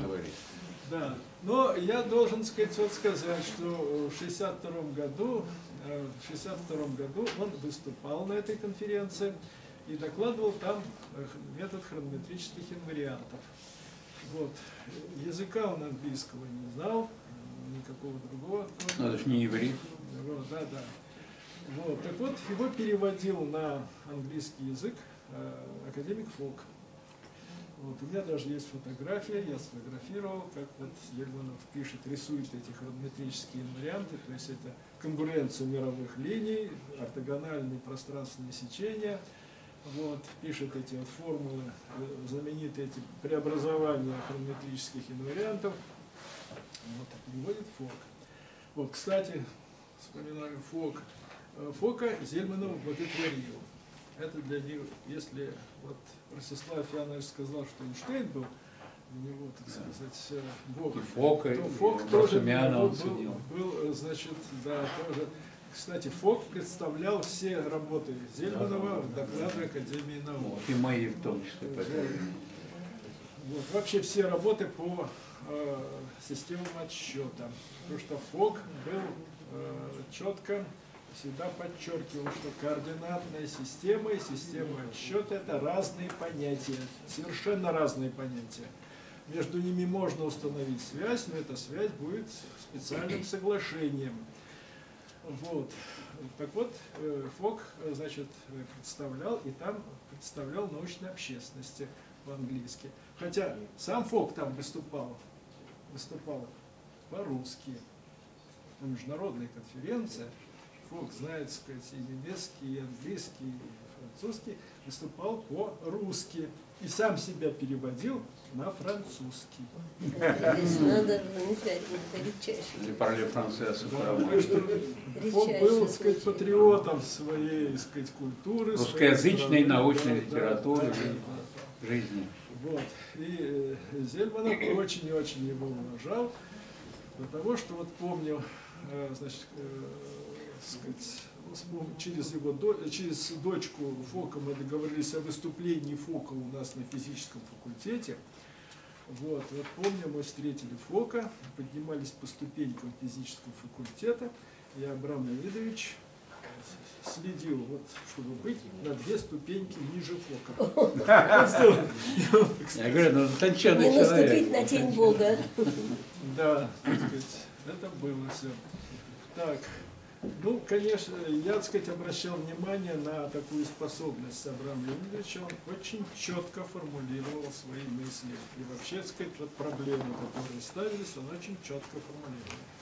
Ну, а мы участвовали с ним вместе на многих, во многих заседаниях, входили в секцию гравитации МИНВУ СССР, значит, я был ученым секретарем, он, э, значит, Зельманов был членом секции, там обсуждались разные вопросы, и всегда Зельманов очень четко выступал, и, так сказать, формулировки, и, так сказать, так, э, да, анкетные данные. У меня, поскольку, э, поскольку я был ученым секретарем секции, и мы формировали делегации для поездки и, и, значит, и в Варшаву, потом в 65 году в Лондон ездили, потом, так сказать, еще в- другие места. У меня сохранились анкеты, написанные лично Абрам Леонидовичем, где он, так сказать, пишет, так сказать, все, ну что ж, анкеты тогда большие. Очень аккуратный почерк был. Да, аккуратный почерк. Тоже говорит там, о человеке. Все это записано, записано, ну, те данные, которые вот Ростислав Феофанович потом приводил. Так, теперь, значит, э, насчет хронометрических инвариантов. Да, это чрезвычайно важный результат, очень чрезвычайно важный результат, который вот мы получили прямо из первых рук от самого Зельманова, который мне очень пригодился потом. Э, Мне это очень помогло в моей работе по разным направлениям. Вот. Но тут вот есть вот одна тонкость. Значит, э, э, в 60-х годах, это уже где-то к концу 60-х годов, нет, ну, ну да, где-то в, в середине, в концу 60-х годов, я обратил внимание, что ведь метод хронометрических инвариантов это 1 плюс 3 расщепления. Это уже говорилось здесь. Я заинтересовался пятимерием. Пятимерие 1 плюс 4 расщепления. Те времена мы про э, сказать, то, что делают за рубежом, литературу, как-то плохо знали. А тут сказать, вот как-то мне попались материалы, я обратил внимание на, значит, что пятимерие можно изображать э, так же, как в хронометрических инвариантах. Просто выделять не координату времени, а координату, пятую координату, которая не такая, так сказать, как четыре классические. Вот. Я начал развивать этот, сказать, аппарат, строить. Потом я нашел работу Эйнштейна и Бергмана 1938 года, где это было сделано, аккуратно сделано, причем, так сказать, не так четко, как в методе хронометрических инвариантов. И вот я пришел к Абраму Леонидовичу, как, ну, мы с ним встречались, сказать, он как ну, один, я его всегда считал одним из своих учителей. И говорю, Абрам Леонидович, ведь это же можно, эти хронометрические варианты, как пятимерие. Вот уже тогда я и познал и Эйнш- Эйнштейна, Бергмана эти работы. И Зельманов к этому отнесся очень и очень положительно. И я понял, что он это знал. Он это знал, что та же самая методика 1 плюс 4 и 1 плюс 3 расщепления. Но, замечу, Эйнштейн не догадался это применить для описания системы отсчета. И до конца дней своих он путался координатной системой и системой отсчета. А вот здесь вот заслуга Зельмана в том, что он это сказать, Разделил. да, он применил для описания системы отсчета. Вот. Так что вот это вот очень важно. Теперь по поводу кинеметрических инвариантов. По поводу кинеметрических инвариантов у меня тут случилась история такая. Значит, дело в том, что я в работе в группе профессора Иваненко значит, имел смелость заняться проблемой квантования гравитации. Ну, конечно, по молодости, по глупости, не знал, что это, насколько это сложная проблема. Вот только потом я понял, что в течение всего 20 века ею занимались тут и, так сказать, и Уиллер, и Гейман, и, так сказать, и многие, кто, и Дирак. Вот. И вот, значит, э, я, так сказать, стал читать работы Дирака, Арновита, Дезера, Мизнера там, и других авторов. И смотрю, у них, так сказать, что-то в формулах пишется, но, э, так сказать, э, не так, как в хронометрических инвариантах. Я хотел переложить их работы по грунтованию на метод хронометрических инвариантов. Но смотрю нулики у хронометрических инвариантов снизу, а там сверху Потому что пишутся. это кинеметрические. Да, да, да, подо- да, никто тогда еще не знал, и Зельманов не знал. Вот. И вот, значит, э, мы по этому поводу э, потом поняли, что этот метод, это как хронометрические инварианты, только, так сказать, нужно менять там преобразование и так далее. Вот. И мы принесли, написали, э, значит, припринт, опубликовали в Киеве, это был уже 72 год, когда там Герагас был. Вот, и я ему принес этот припринт, где было это указано. Зельманов изменился в лице и сказал, какое право вы имели заниматься этой проблемой? И спросили моего разрешения. Проблема приватизации научных идей в науке. Да, у него был, так сказать, вот такой вот принцип, что надо было спросить у него, можно ли этим заниматься. Вот. А Научный если бы вы монастырь. говорите, это спросили, я бы вам выдал эти результаты, и не надо было бы вам это делать. Ну, я верю, что у него они были. Но мы получили независимо. Вот была такая вот история. А потом была история, значит, э, он, значит, настаивал на том, чтобы мы указали, что приоритет Зельманова все-таки в этом вопросе, несмотря на то, что опубликовали мы первыми.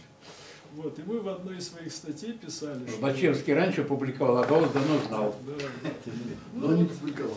Вот, ну ладно. Боялся такой, Да. А поводу никого не боялся. Но кинеметрический инвариант это очень важный тоже калибровка монадного метода. Кстати, еще э, общековариантного монадного не было. Это было позже уже сделано, э, сказать, это уже было, э, так сказать, э, позже. Вот, так вот, дело вот в чем, что оказывается, в общей теории относительности есть привилегированная система отсчета. Вот часто говорят, что вот, вот в ньютоновской теории или спецтеории есть инерциальная система отсчета. А в общей теории относительности там кривизна, там... так сказать, Общая уже- относительность. Да, да, общая относительность. Ничего подобного. Есть привилегированная система отсчета. Это система отсчета без вращения, нормальные системы отсчета. И вот я понял тогда, почему Дирак и, так сказать, Арнови, Дезер, Мизнер пользовались этим аппаратом, не зная, что это кинеметрические инварианты, не связывая с понятием Говорили прозой, системы не знаю, что да. Да, не связывая. А на самом деле это оказывалось, что решаю сложную задачу, вообще решаешь нечто сложное, не вертись. То есть без вращения. Вот у них была нормальная система отсчета, и вот это ему упрощало это рассуждение. И фактически те четыре переменные, которые они выделяли, которые не должны квантоваться, они описывают э, характеристики системы отсчета, нормальной системы отсчета. Вот это не подлежит квантованию. А квантоваться должно быть то, что остается вот за вычетом этих, этих так сказать, координат, этих э, степеней свободы метрического тензора. Вот, так что вот это вот очень интересный, так сказать, тоже, э, тоже был, э, был эпизод. Ну, очень много других, так сказать, вопросов мо- могу рассказать вспоминаю. Как образовался семинар, мы с ним обсуждали. Он, так сказать, я был секретарем семинара Иваненко гравитационного, а Зельманов считал, что нужно еще э, гравитационный семинар э, в ГАИШе организовать. Вот мы это обсуждали, как это сделать, какие даже доклады ставить. Вот помню, значит, на одном из первых докладов выступал Мицкевич, потом на третьем или четвертом я выступал, вот и так далее. Так что вот этот семинар, э, я помню, как он, который сейчас называется семинар имени Зельмана, но уже совсем другая идеология, совсем другие люди, это уже совсем... не- Совсем другие. Совсем не то, да. Вот. Что еще интересного было? Вот.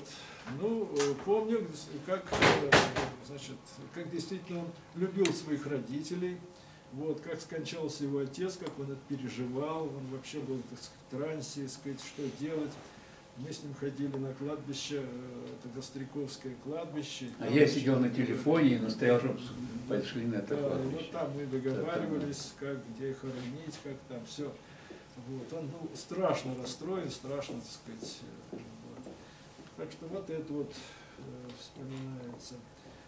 Вот. Ну, конечно, многие идеи, которые, э, которые он выдвигал, и в статьях писал, и в личных разговорах э, высказывал, мне очень помогли. Ну, например, вот мы с ним обсуждали вопрос, о- я занимался квантованием гравитации, то есть как в микромире будет, э, какая будет теория микромира, там, квантовая теория гравитации или вообще что-то такое еще более существенное.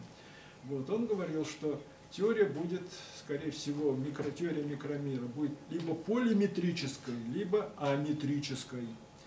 И вообще, э, значит, понятие метрики, это же чрезвычайно важное понятие, это еще Риман, э, сказать, Риман в своей статье о гипотезах, лежащих в основании геометрии, поднял вопрос, откуда происходит метрика, какова физическая причина этого геометрического понятия. Вот.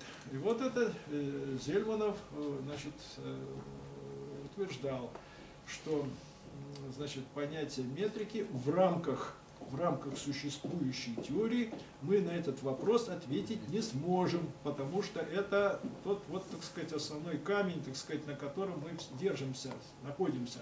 А уже на, на этом понятии все строится, Поэтому вывести его из того, что на этой основе строится, мы не можем. Мы ну, должны что-то копнуть глубже. Вот этот вот вопрос тоже, э, я, так сказать, это запомнил. Конечно, куб Зельманова. Вот. А потом, занимаясь парадигмами, я свой куб придумал. Вот, он принципиально иной, но, Куб Владимирова. но, но идея, так сказать, что вот... э, трехмерный? Трехмерный куб, да. Это три парадигмы, три парадигмы, значит, это три оси, это пространство, время, частицы и поля. И вот, так сказать, строится куб из физической реальности, на которую можно смотреть под разными углами зрения. Вот, это нечто другое. Видимо, так сказать, повлияло, конечно, то, что может, подсознание- подсознание это э, запало в свое время. Так что, вот. так что мне кажется, что действительно, э, действительно он высказывал очень много хороших идей. Ну, и, конечно, и про космологию, вот, и про применимость э, общей теории относительности. Он был э, склонен соглашаться с Фоком, что всякая физическая теория имеет свою сферу применимости, в том числе и общие теории относительности. Так что вопрос, а насколько мы можем продолжать э, на Вселенной в целом, это в терминологии Зельманова, вот, в целом, это вопрос, вообще-то вопрос. И всякий, так сказать, э, нормальный физик должен об этом задумываться и знать. Это в отличие от Зельдовича, который э, заявлял, что нет никаких данных, которые бы э, противоречили теории относительности, поэтому можно над Вселенной в целом. Вот. Так что это тоже его мнение чрезвычайно важно. Вот. Ну, что ж, ну, вот такие вот, наверное, воспоминания. Вот я рад здесь присутствовать, рад, что мы здесь собрались, чтобы фактически вспомнить о такой вот очень интерес, очень, так сказать, неординарной личности, о большом ученом, который э, большое э, влияние оказал на развитие гравитации. Вот. Я должен сказать, что до сих пор, до сих пор во многих работах по гравитации имеется путаница между системами счета и координатными системами. Вот. В том числе и вот у нашего бывшего ректора Лагунова, который этого не знал. Не знал. Он говорил, вот, сказать, вот э, тензор, тензор. Э, а что экспериментатор может измерять? измерять? Э, Тензор всегда, компоненты его зависят от выбора координатной системы. Делайте преобразование, у другие величины. А вот Брагинскому пойти, что он будет измерять? Вот. Так вот, Тут нужно Он не знал понятия системы отсчета. Вот. А если бы знал, то он бы знал, что экспериментатору нужно идти и указывать скаляры, которые он только может измерять. А скаляры строятся на, на основе так сказать, метода хронометрических инвариантов. То есть систему отсчета вы задаете, и там проецируете, например, на направление тау, направление времени, или, так сказать, э, берете инвариант пространственного направления. Так что вот это вот чрезвычайно важно. Это был один из доводов Лагунова, э, почему нужно сказать спасибо Эйнштейну как за пройденный этап и переходить к его релятивистской теории гравитации. Где что верно, то не ново, что ново, то неверно. Да. Так что он этого не знал. Он еще много чего не знал. Вот. Поэтому была такая критика в свое время с его стороны, э, значит, общей теории относительности. А Зельман это все давно знал, но большое начальство не всегда слушается тех людей, которые стоят ниже. Вот. Так сказать, какой-то там служебной лестнице. Так, так что вот это вот э, нужно, нужно, так сказать, действительно, э, действительно помнить, действительно это вошло, э, ну, мы, во всяком случае вот это вводим в науку, в общую теорию относительности. То, что я сказал, почти, так сказать, ну, частично, я об этом написал. Вот э, Владимир Павлович рецензент моих книг знает, что я писал это в книге и в первой, и во второй, и в третьей книге между физикой и метафизикой, так что там у меня есть не по абзацу, там больше написано. Вот. А, Ну, а, сказать, идеи его я использую в своих других книжках и в своих работах, и считайте, да, и у меня есть книга классическая теория гравитации. Я читаю лекции общей, э, по общей теории относительности на физическом факультете МГУ. Значит, э, вторая часть, вторая часть моего курса, это годовой курс, она целиком опирается на метод вот 1 плюс 3, 1 плюс 4, э, сказать, расщеплений. То есть вот этот фактически то, что я взял у Зельмана, то есть студентам целый полгода, так сказать, это все рассказываю. Что такое хронометрический инвариант, кинеметрический, общековариантный монадный метод. Вот. И применение этих методов для анализа фундаментальных проблем, то есть и для проблемы э, законов сохранения, и то, чем Зельманов занимался, вот, сказать, Ростислав Япанович в этом говорил, вот, и о э, приложении к, к определению гравитационных волн, вот, э, сказать, и потом я рассказываю про пятимерие, и я считаю, что мне удалось э, значит, ну, улучшить, так сказать, то, что было сделано в пятимерии, так раньше, потому что там были как бы первые намет- основные идеи, первые наметки, а уже все это разработано было в, рамках метода хронометрических инвариантов. Я как бы вернул, вот сказать, э, эти, э, эту идею назад в пятимерие. И получается довольно, мне кажется, очень интересная, так сказать, э, формулировка теории Калуца, теории Клейна и даже обобщение на более высшие размерности, на 6, на 7, на 8 измерений. Это уже применяется, так сказать, фактически это все я истоки э, заложены от общения э, от Зельмана. Так что я тоже ему очень глубоко благодарен, глубоко благодарен за все это, за те знания, за те идеи, которые я от него А получил. в отношении школы научной? Научные школы. Понимаете, тут какая штука? Какая штука. Вот Зельманов э, мог в 1944 году действительно получить э, докторскую, док- докторское звание. Вот. Но потом он не защищал, не защищал, так сказать, упорно не защищал докторскую диссертацию. Хотя ему многие говорили, я помню, Иваненко говорил, и там другие говорили, ну, Абрам Леонидович, ну, что вы, э, какой-то кандидат, доцент, так сказать, ну, вы же, так сказать, значительно выше.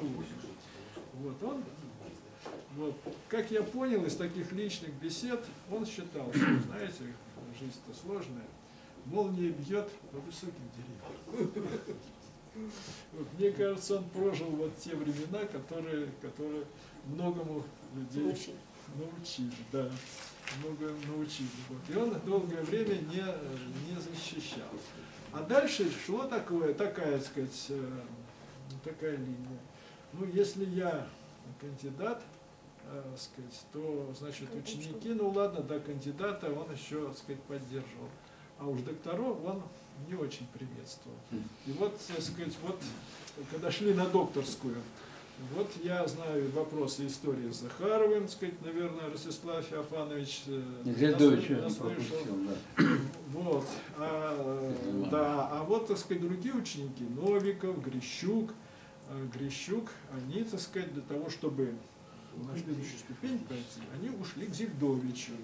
Вот, так что вот так. Многоступенчатая ракета. Да, вот Зельманов так. отработал. Да, такая вот история. Вот. Ну, там тоже много было всякого связано с этим.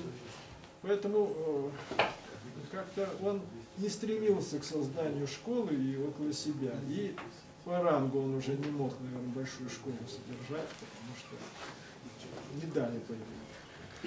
Вот. Ну, а из его учеников я могу назвать, значит, ну вот, э, Ростислав Иванович, там был Штейнград, Захаров был, я себя э, причисляю к его ученикам. Грищук, Потом, Новиков. Да, Новиков, Грищук, да, Грищук, и я помню, писал еще рецензию на его дипломную работу в свое время. Так, ну, Галкин тоже, и Галкин потом уже в аспирантуре был в конце 60-х годов. Закир Хабибов, Лина Харбедия. Да, да, да, Харбедия, э, Лариса Рамашин, Борисова. Э, Рябунский, этот, Рабунский, да, Твердохлебова, Григорьева, Борисова. Вот это все его ученики, которые вышли, значит, от Зелена. Вот. Ну, продолжают работать, я думаю, не так много, э, используют эти данные. Так что школы не получилось большой. А ученики, ученики есть. Так что вот такие вот мои воспоминания. Спасибо так что большое. я очень рад и сказать, что здесь присутствую, Да. и что мы вот помянули с- столетие со дня его рождения. Так что был очень интересный человек, толковый. Алина пожалуйста. Мне хотелось добавить буквально два слова. Э, Во-первых, вот интересно, что как вот иногда судьбы пересекаются. Ну, Гадич – это очень маленький городок, и, наверное, далеко не все бывали в нем. А у меня судьба сложилась так, что я как раз в нем побывала. И в начале, э, перед самой войной, мы оказались с бабушкой и двумя братьями в далекой глубинке под Полтавой, в маленьком селе. Семья давно мечтала там, так сказать, отдохнуть. И вот, когда началась война, мы только что приехали, вдруг началась война уже. Наш, нас отец спасал буквально. Немцы шли буквально, могли нас уже оккупировать. И нам э, с трудом за 25 километров Сельцо дал председатель лошадь, ну там трудно, и мы добрались до Гадича. Гадич был тихий, с- был какой-то тихенький-тихенький городок, чистенький такой, у меня впечатление такое было сильное. Хотя мы вечером приехали, а утром с последним автобусом добрались до Полтавы. Ну и потом уехали. И много лет спустя я узнала, что там родился Абрам Леонидович. Как-то так это меня тронуло. Вот. Теперь, что я хотела, э, мне вспомин... э, так сказать, ассоциации такие. Ведь вот ведь действительно есть люди, все-таки я думаю, что э, Абрам Леонидович принадлежал к тем людям, что называется одинокие волки, у которых и не могло быть школы. Например, не было школы и не могло быть у Кеплера. Не было у Ньютона. Вообще два студента его слушали, остальные не могли ничего понять, избегали. Вот. И э, таким образом, э, например, действительно их э, оце- оценивали даже, ну не Ньютона, а вот э, Кеплера в сущности, за- много спустя после их кончины. И вот тоже интересно, даже такое получилось, э, опять-таки, аналогия. В свое время, вот вы говорите, что действительно Зельман несколько даже обиделся, почему к нему не обратились за некоторыми важными вопросами, он бы сразу бы сказал что-то. А вы уже дошли сами. А ведь такая же ситуация была с Ньютоном. Сколько людей бились над те, так сказать, законом, вот по какому, по какому, ну, Гук это вообще, да, был совершенно почти Лейбниц. одинаково, да. они все, целая группа такая этих лондонских членов лондонского общества, даже Рен э, обещал дать, так сказать, премию, там 40 шиллингов, чтобы найти формулу, по какой кривой будет двигаться тело под действием. Уже все догадались, что обратно пропорциональная квадрату расстояния, сила. И вот никак не могли. И ввели замечательно. Ну, парабола Галилея была уже известна. И Галилея, и все. Ну, парабола, да. Но вот чтобы доказать, что именно по коническим сечениям под действием такого закона. И вот, наконец, дошло пришло, вспомнили о том, что вот действительно профессор в Кембридже Ньютон, и обратились, ну знали, как крупный математик, к нему обратились, и обратился к Бук, и все это. И он сказал, что он давным-давно все сделал, и про... забыл, даже потерял и так далее. Но там это сыграло, так сказать, он действительно дал это все. Теперь, далеко не каждый, не сразу, не только учеников, ньютоновские принципы в первый понял его друг, потом не друг, этот Вильям Уистон – который ну, по религиозным, религиозным отношениям они разошлись с Ньютоном, стали врагами. Тот, Ньютон даже не пропустил его в члена лондонского общества и даже изгнал из университета отовсюду. Тот частным образом 40 лет прожил. Но именно Уистон первый отреферировал и понял принципы Ньютона и даже сразу же творчески использовал. Он первый дал идею катастрофической планетной космогонии именно на основе теории Ньютона. Вот такие вот ситуации, с такими гениальными, одинокими вершинами такими. И поэтому-то я была очень рада, что сегодня вот наш докладчик Ростислав Феофанович, он действительно такой редкий случай, что такой ученик, почему я к нему и приставала, что необходимо, необходимо такой долг выполнить, все эти телевидения, все это забудется, а вот это никогда не забудется. И последнее, что я хотела э, вспомнить из моей личной жизни, когда-то в 67 году, начали это в 64 чуть ли не четвертом, мы издавали целую здесь серию, как известно, я работала здесь в Институте истории и техники, и издавали серию истории наук по, э, к 50-летию советской власти. И вот в 1967 году должен был выйти наш том «История астрономии». Там я была ученым секретарем редколлегии, поэтому я подбирала авторов. И всех ориентировала, это были вот 60-е годы, это еще даже началось до свержения Хрущева. И было... называлось развитие астрономии развитие в СССР. астрономии в СССР, да. Да, да, да, да, а еще астрономия на крутых поворотах. Это, это потом, это уже потом, это я, это потом уже, да. Это Там моя статья есть, так что... Конечно, и я пригласила, в частности, Абрама Леонидовича, и он писал у нас там космологию. Вот. Но главное, я ориентировала всех авторов, сама вдохновленная этим 56-м годом, и когда у нас этот Кольман выступал, и все это у нас перевернулось, и я, так сказать, очень ориентировала на э, изложение истории со всеми ее э, и темными, и светлыми зигзагами генеральной линии, да. Вот. И, ну, как известно, был настоящий бой за то, чтобы сохранить хотя бы минимальную информацию о Пулковской трагедии. Это самое главное, это было буквально два слова. Но кончилось тем, что мое имя это вычеркнули, но все-таки удалось чуть-чуть сохранить.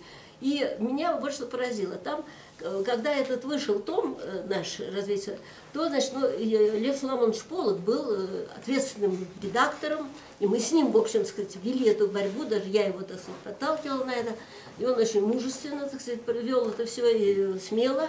И вот я никогда не забуду, мы на площади значит, революции, там в метро вечерком, они мне, значит, Полок, дарит книгу, эту вот вышедшую только что этот том, развития астрономии, там моего имени уже нет.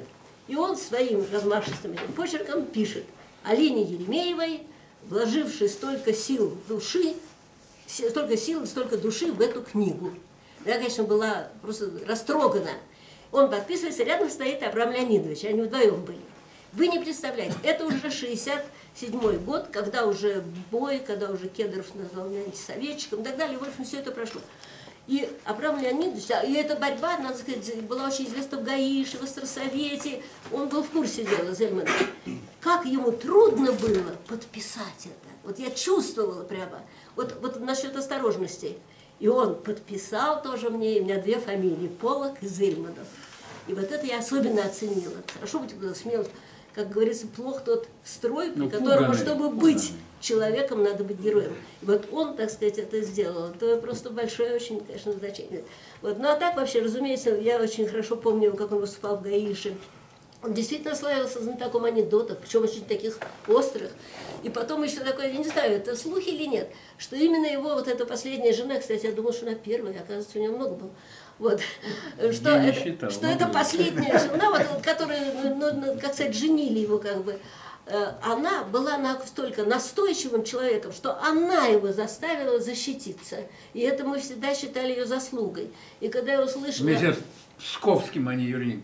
Ну, на- ну, на- да, но она, она на большее Ну, там влияние у- имела, чем Угрожал уже, чтобы его с работы уволили. Ну, это то, что он пережил. Вот. Но во всяком случае, вот эта, эта роль жены здесь была какая-то особенная. И поэтому меня ужаснуло то, Совершенно что правда. роль его падчерицы. Что же это такое произошло, чтобы Она сжечь? спросила Грищука, тот махнул рукой. Ну, это, она это, это вообще говоря, А он преступление. так как рыцарь скупой все это берег Ну, от всех. это, это, конечно, вообще, был. ну, это просто трагедия, да.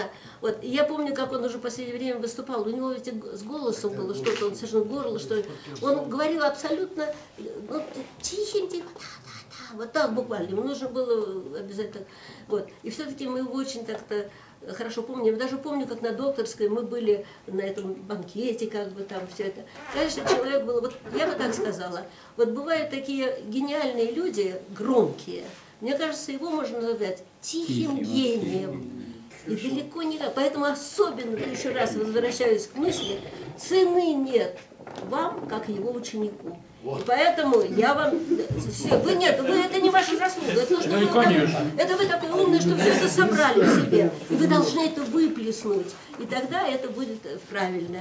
Вот это мое такое пожелание. Но я думаю, что вы это сделаете. Специальный заказ. Да, да, да, да. Кто еще хочет выступить по докладу? Юрий Николаевич, как? Ну что, может быть, мы тогда поблагодарим докладчика? Да. Может быть, вы хотите что-то сказать?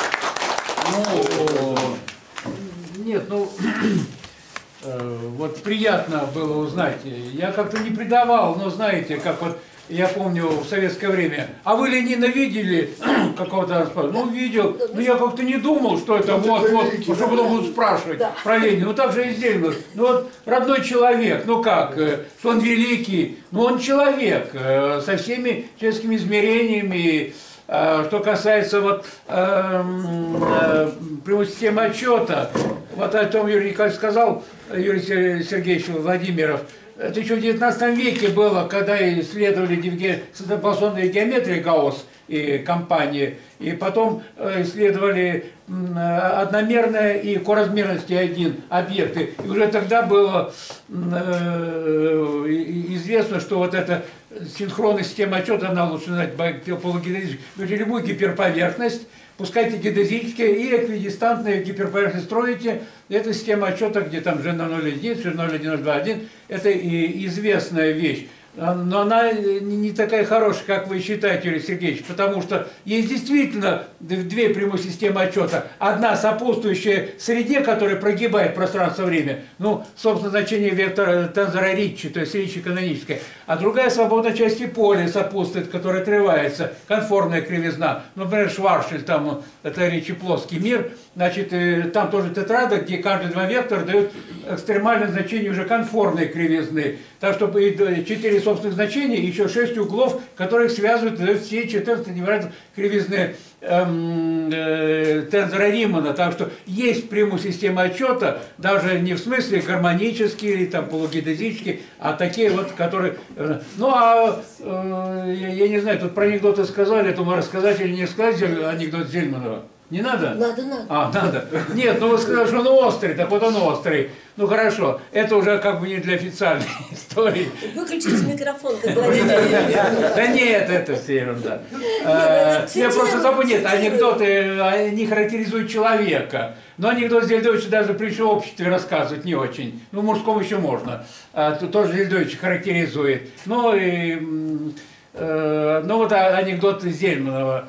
Значит, э, приезжает на каникулы из гимназии сын, значит, своего отца, отец собирает э, гостей, значит, спрашивают, что вы изучаете, там, да вот и немецкий язык изучайте, да, вот, ну вот, ну вот почитайте. Значит, и э, дают этому гимназисту книгу.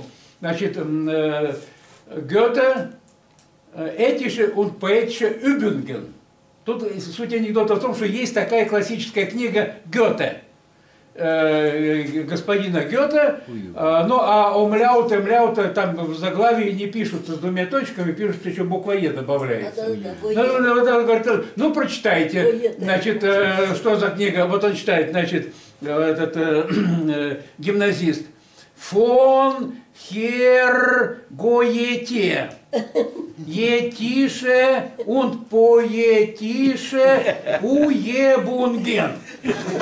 Батюшка так бороду почесывает, поглаживает, читайте вы хорошо, и познание есть, только произношение несколько матерное. Ну вот анекдот Зельманова. Спасибо большое. Значит, мы очень рассчитываем на вашу статью для ИАИ. С анекдотом. А? Давайте. Нет, ну ладно, это было. Теперь последнее объявление о следующем нашем заседании. Оно состоится через неделю, 16 апреля. Доклад Алины Иосифовны Еремеевой «Вильям Гершель 275-летию со дня рождения». Пожалуйста, приходите. Так, вашу библиотеку написать или так? А у нас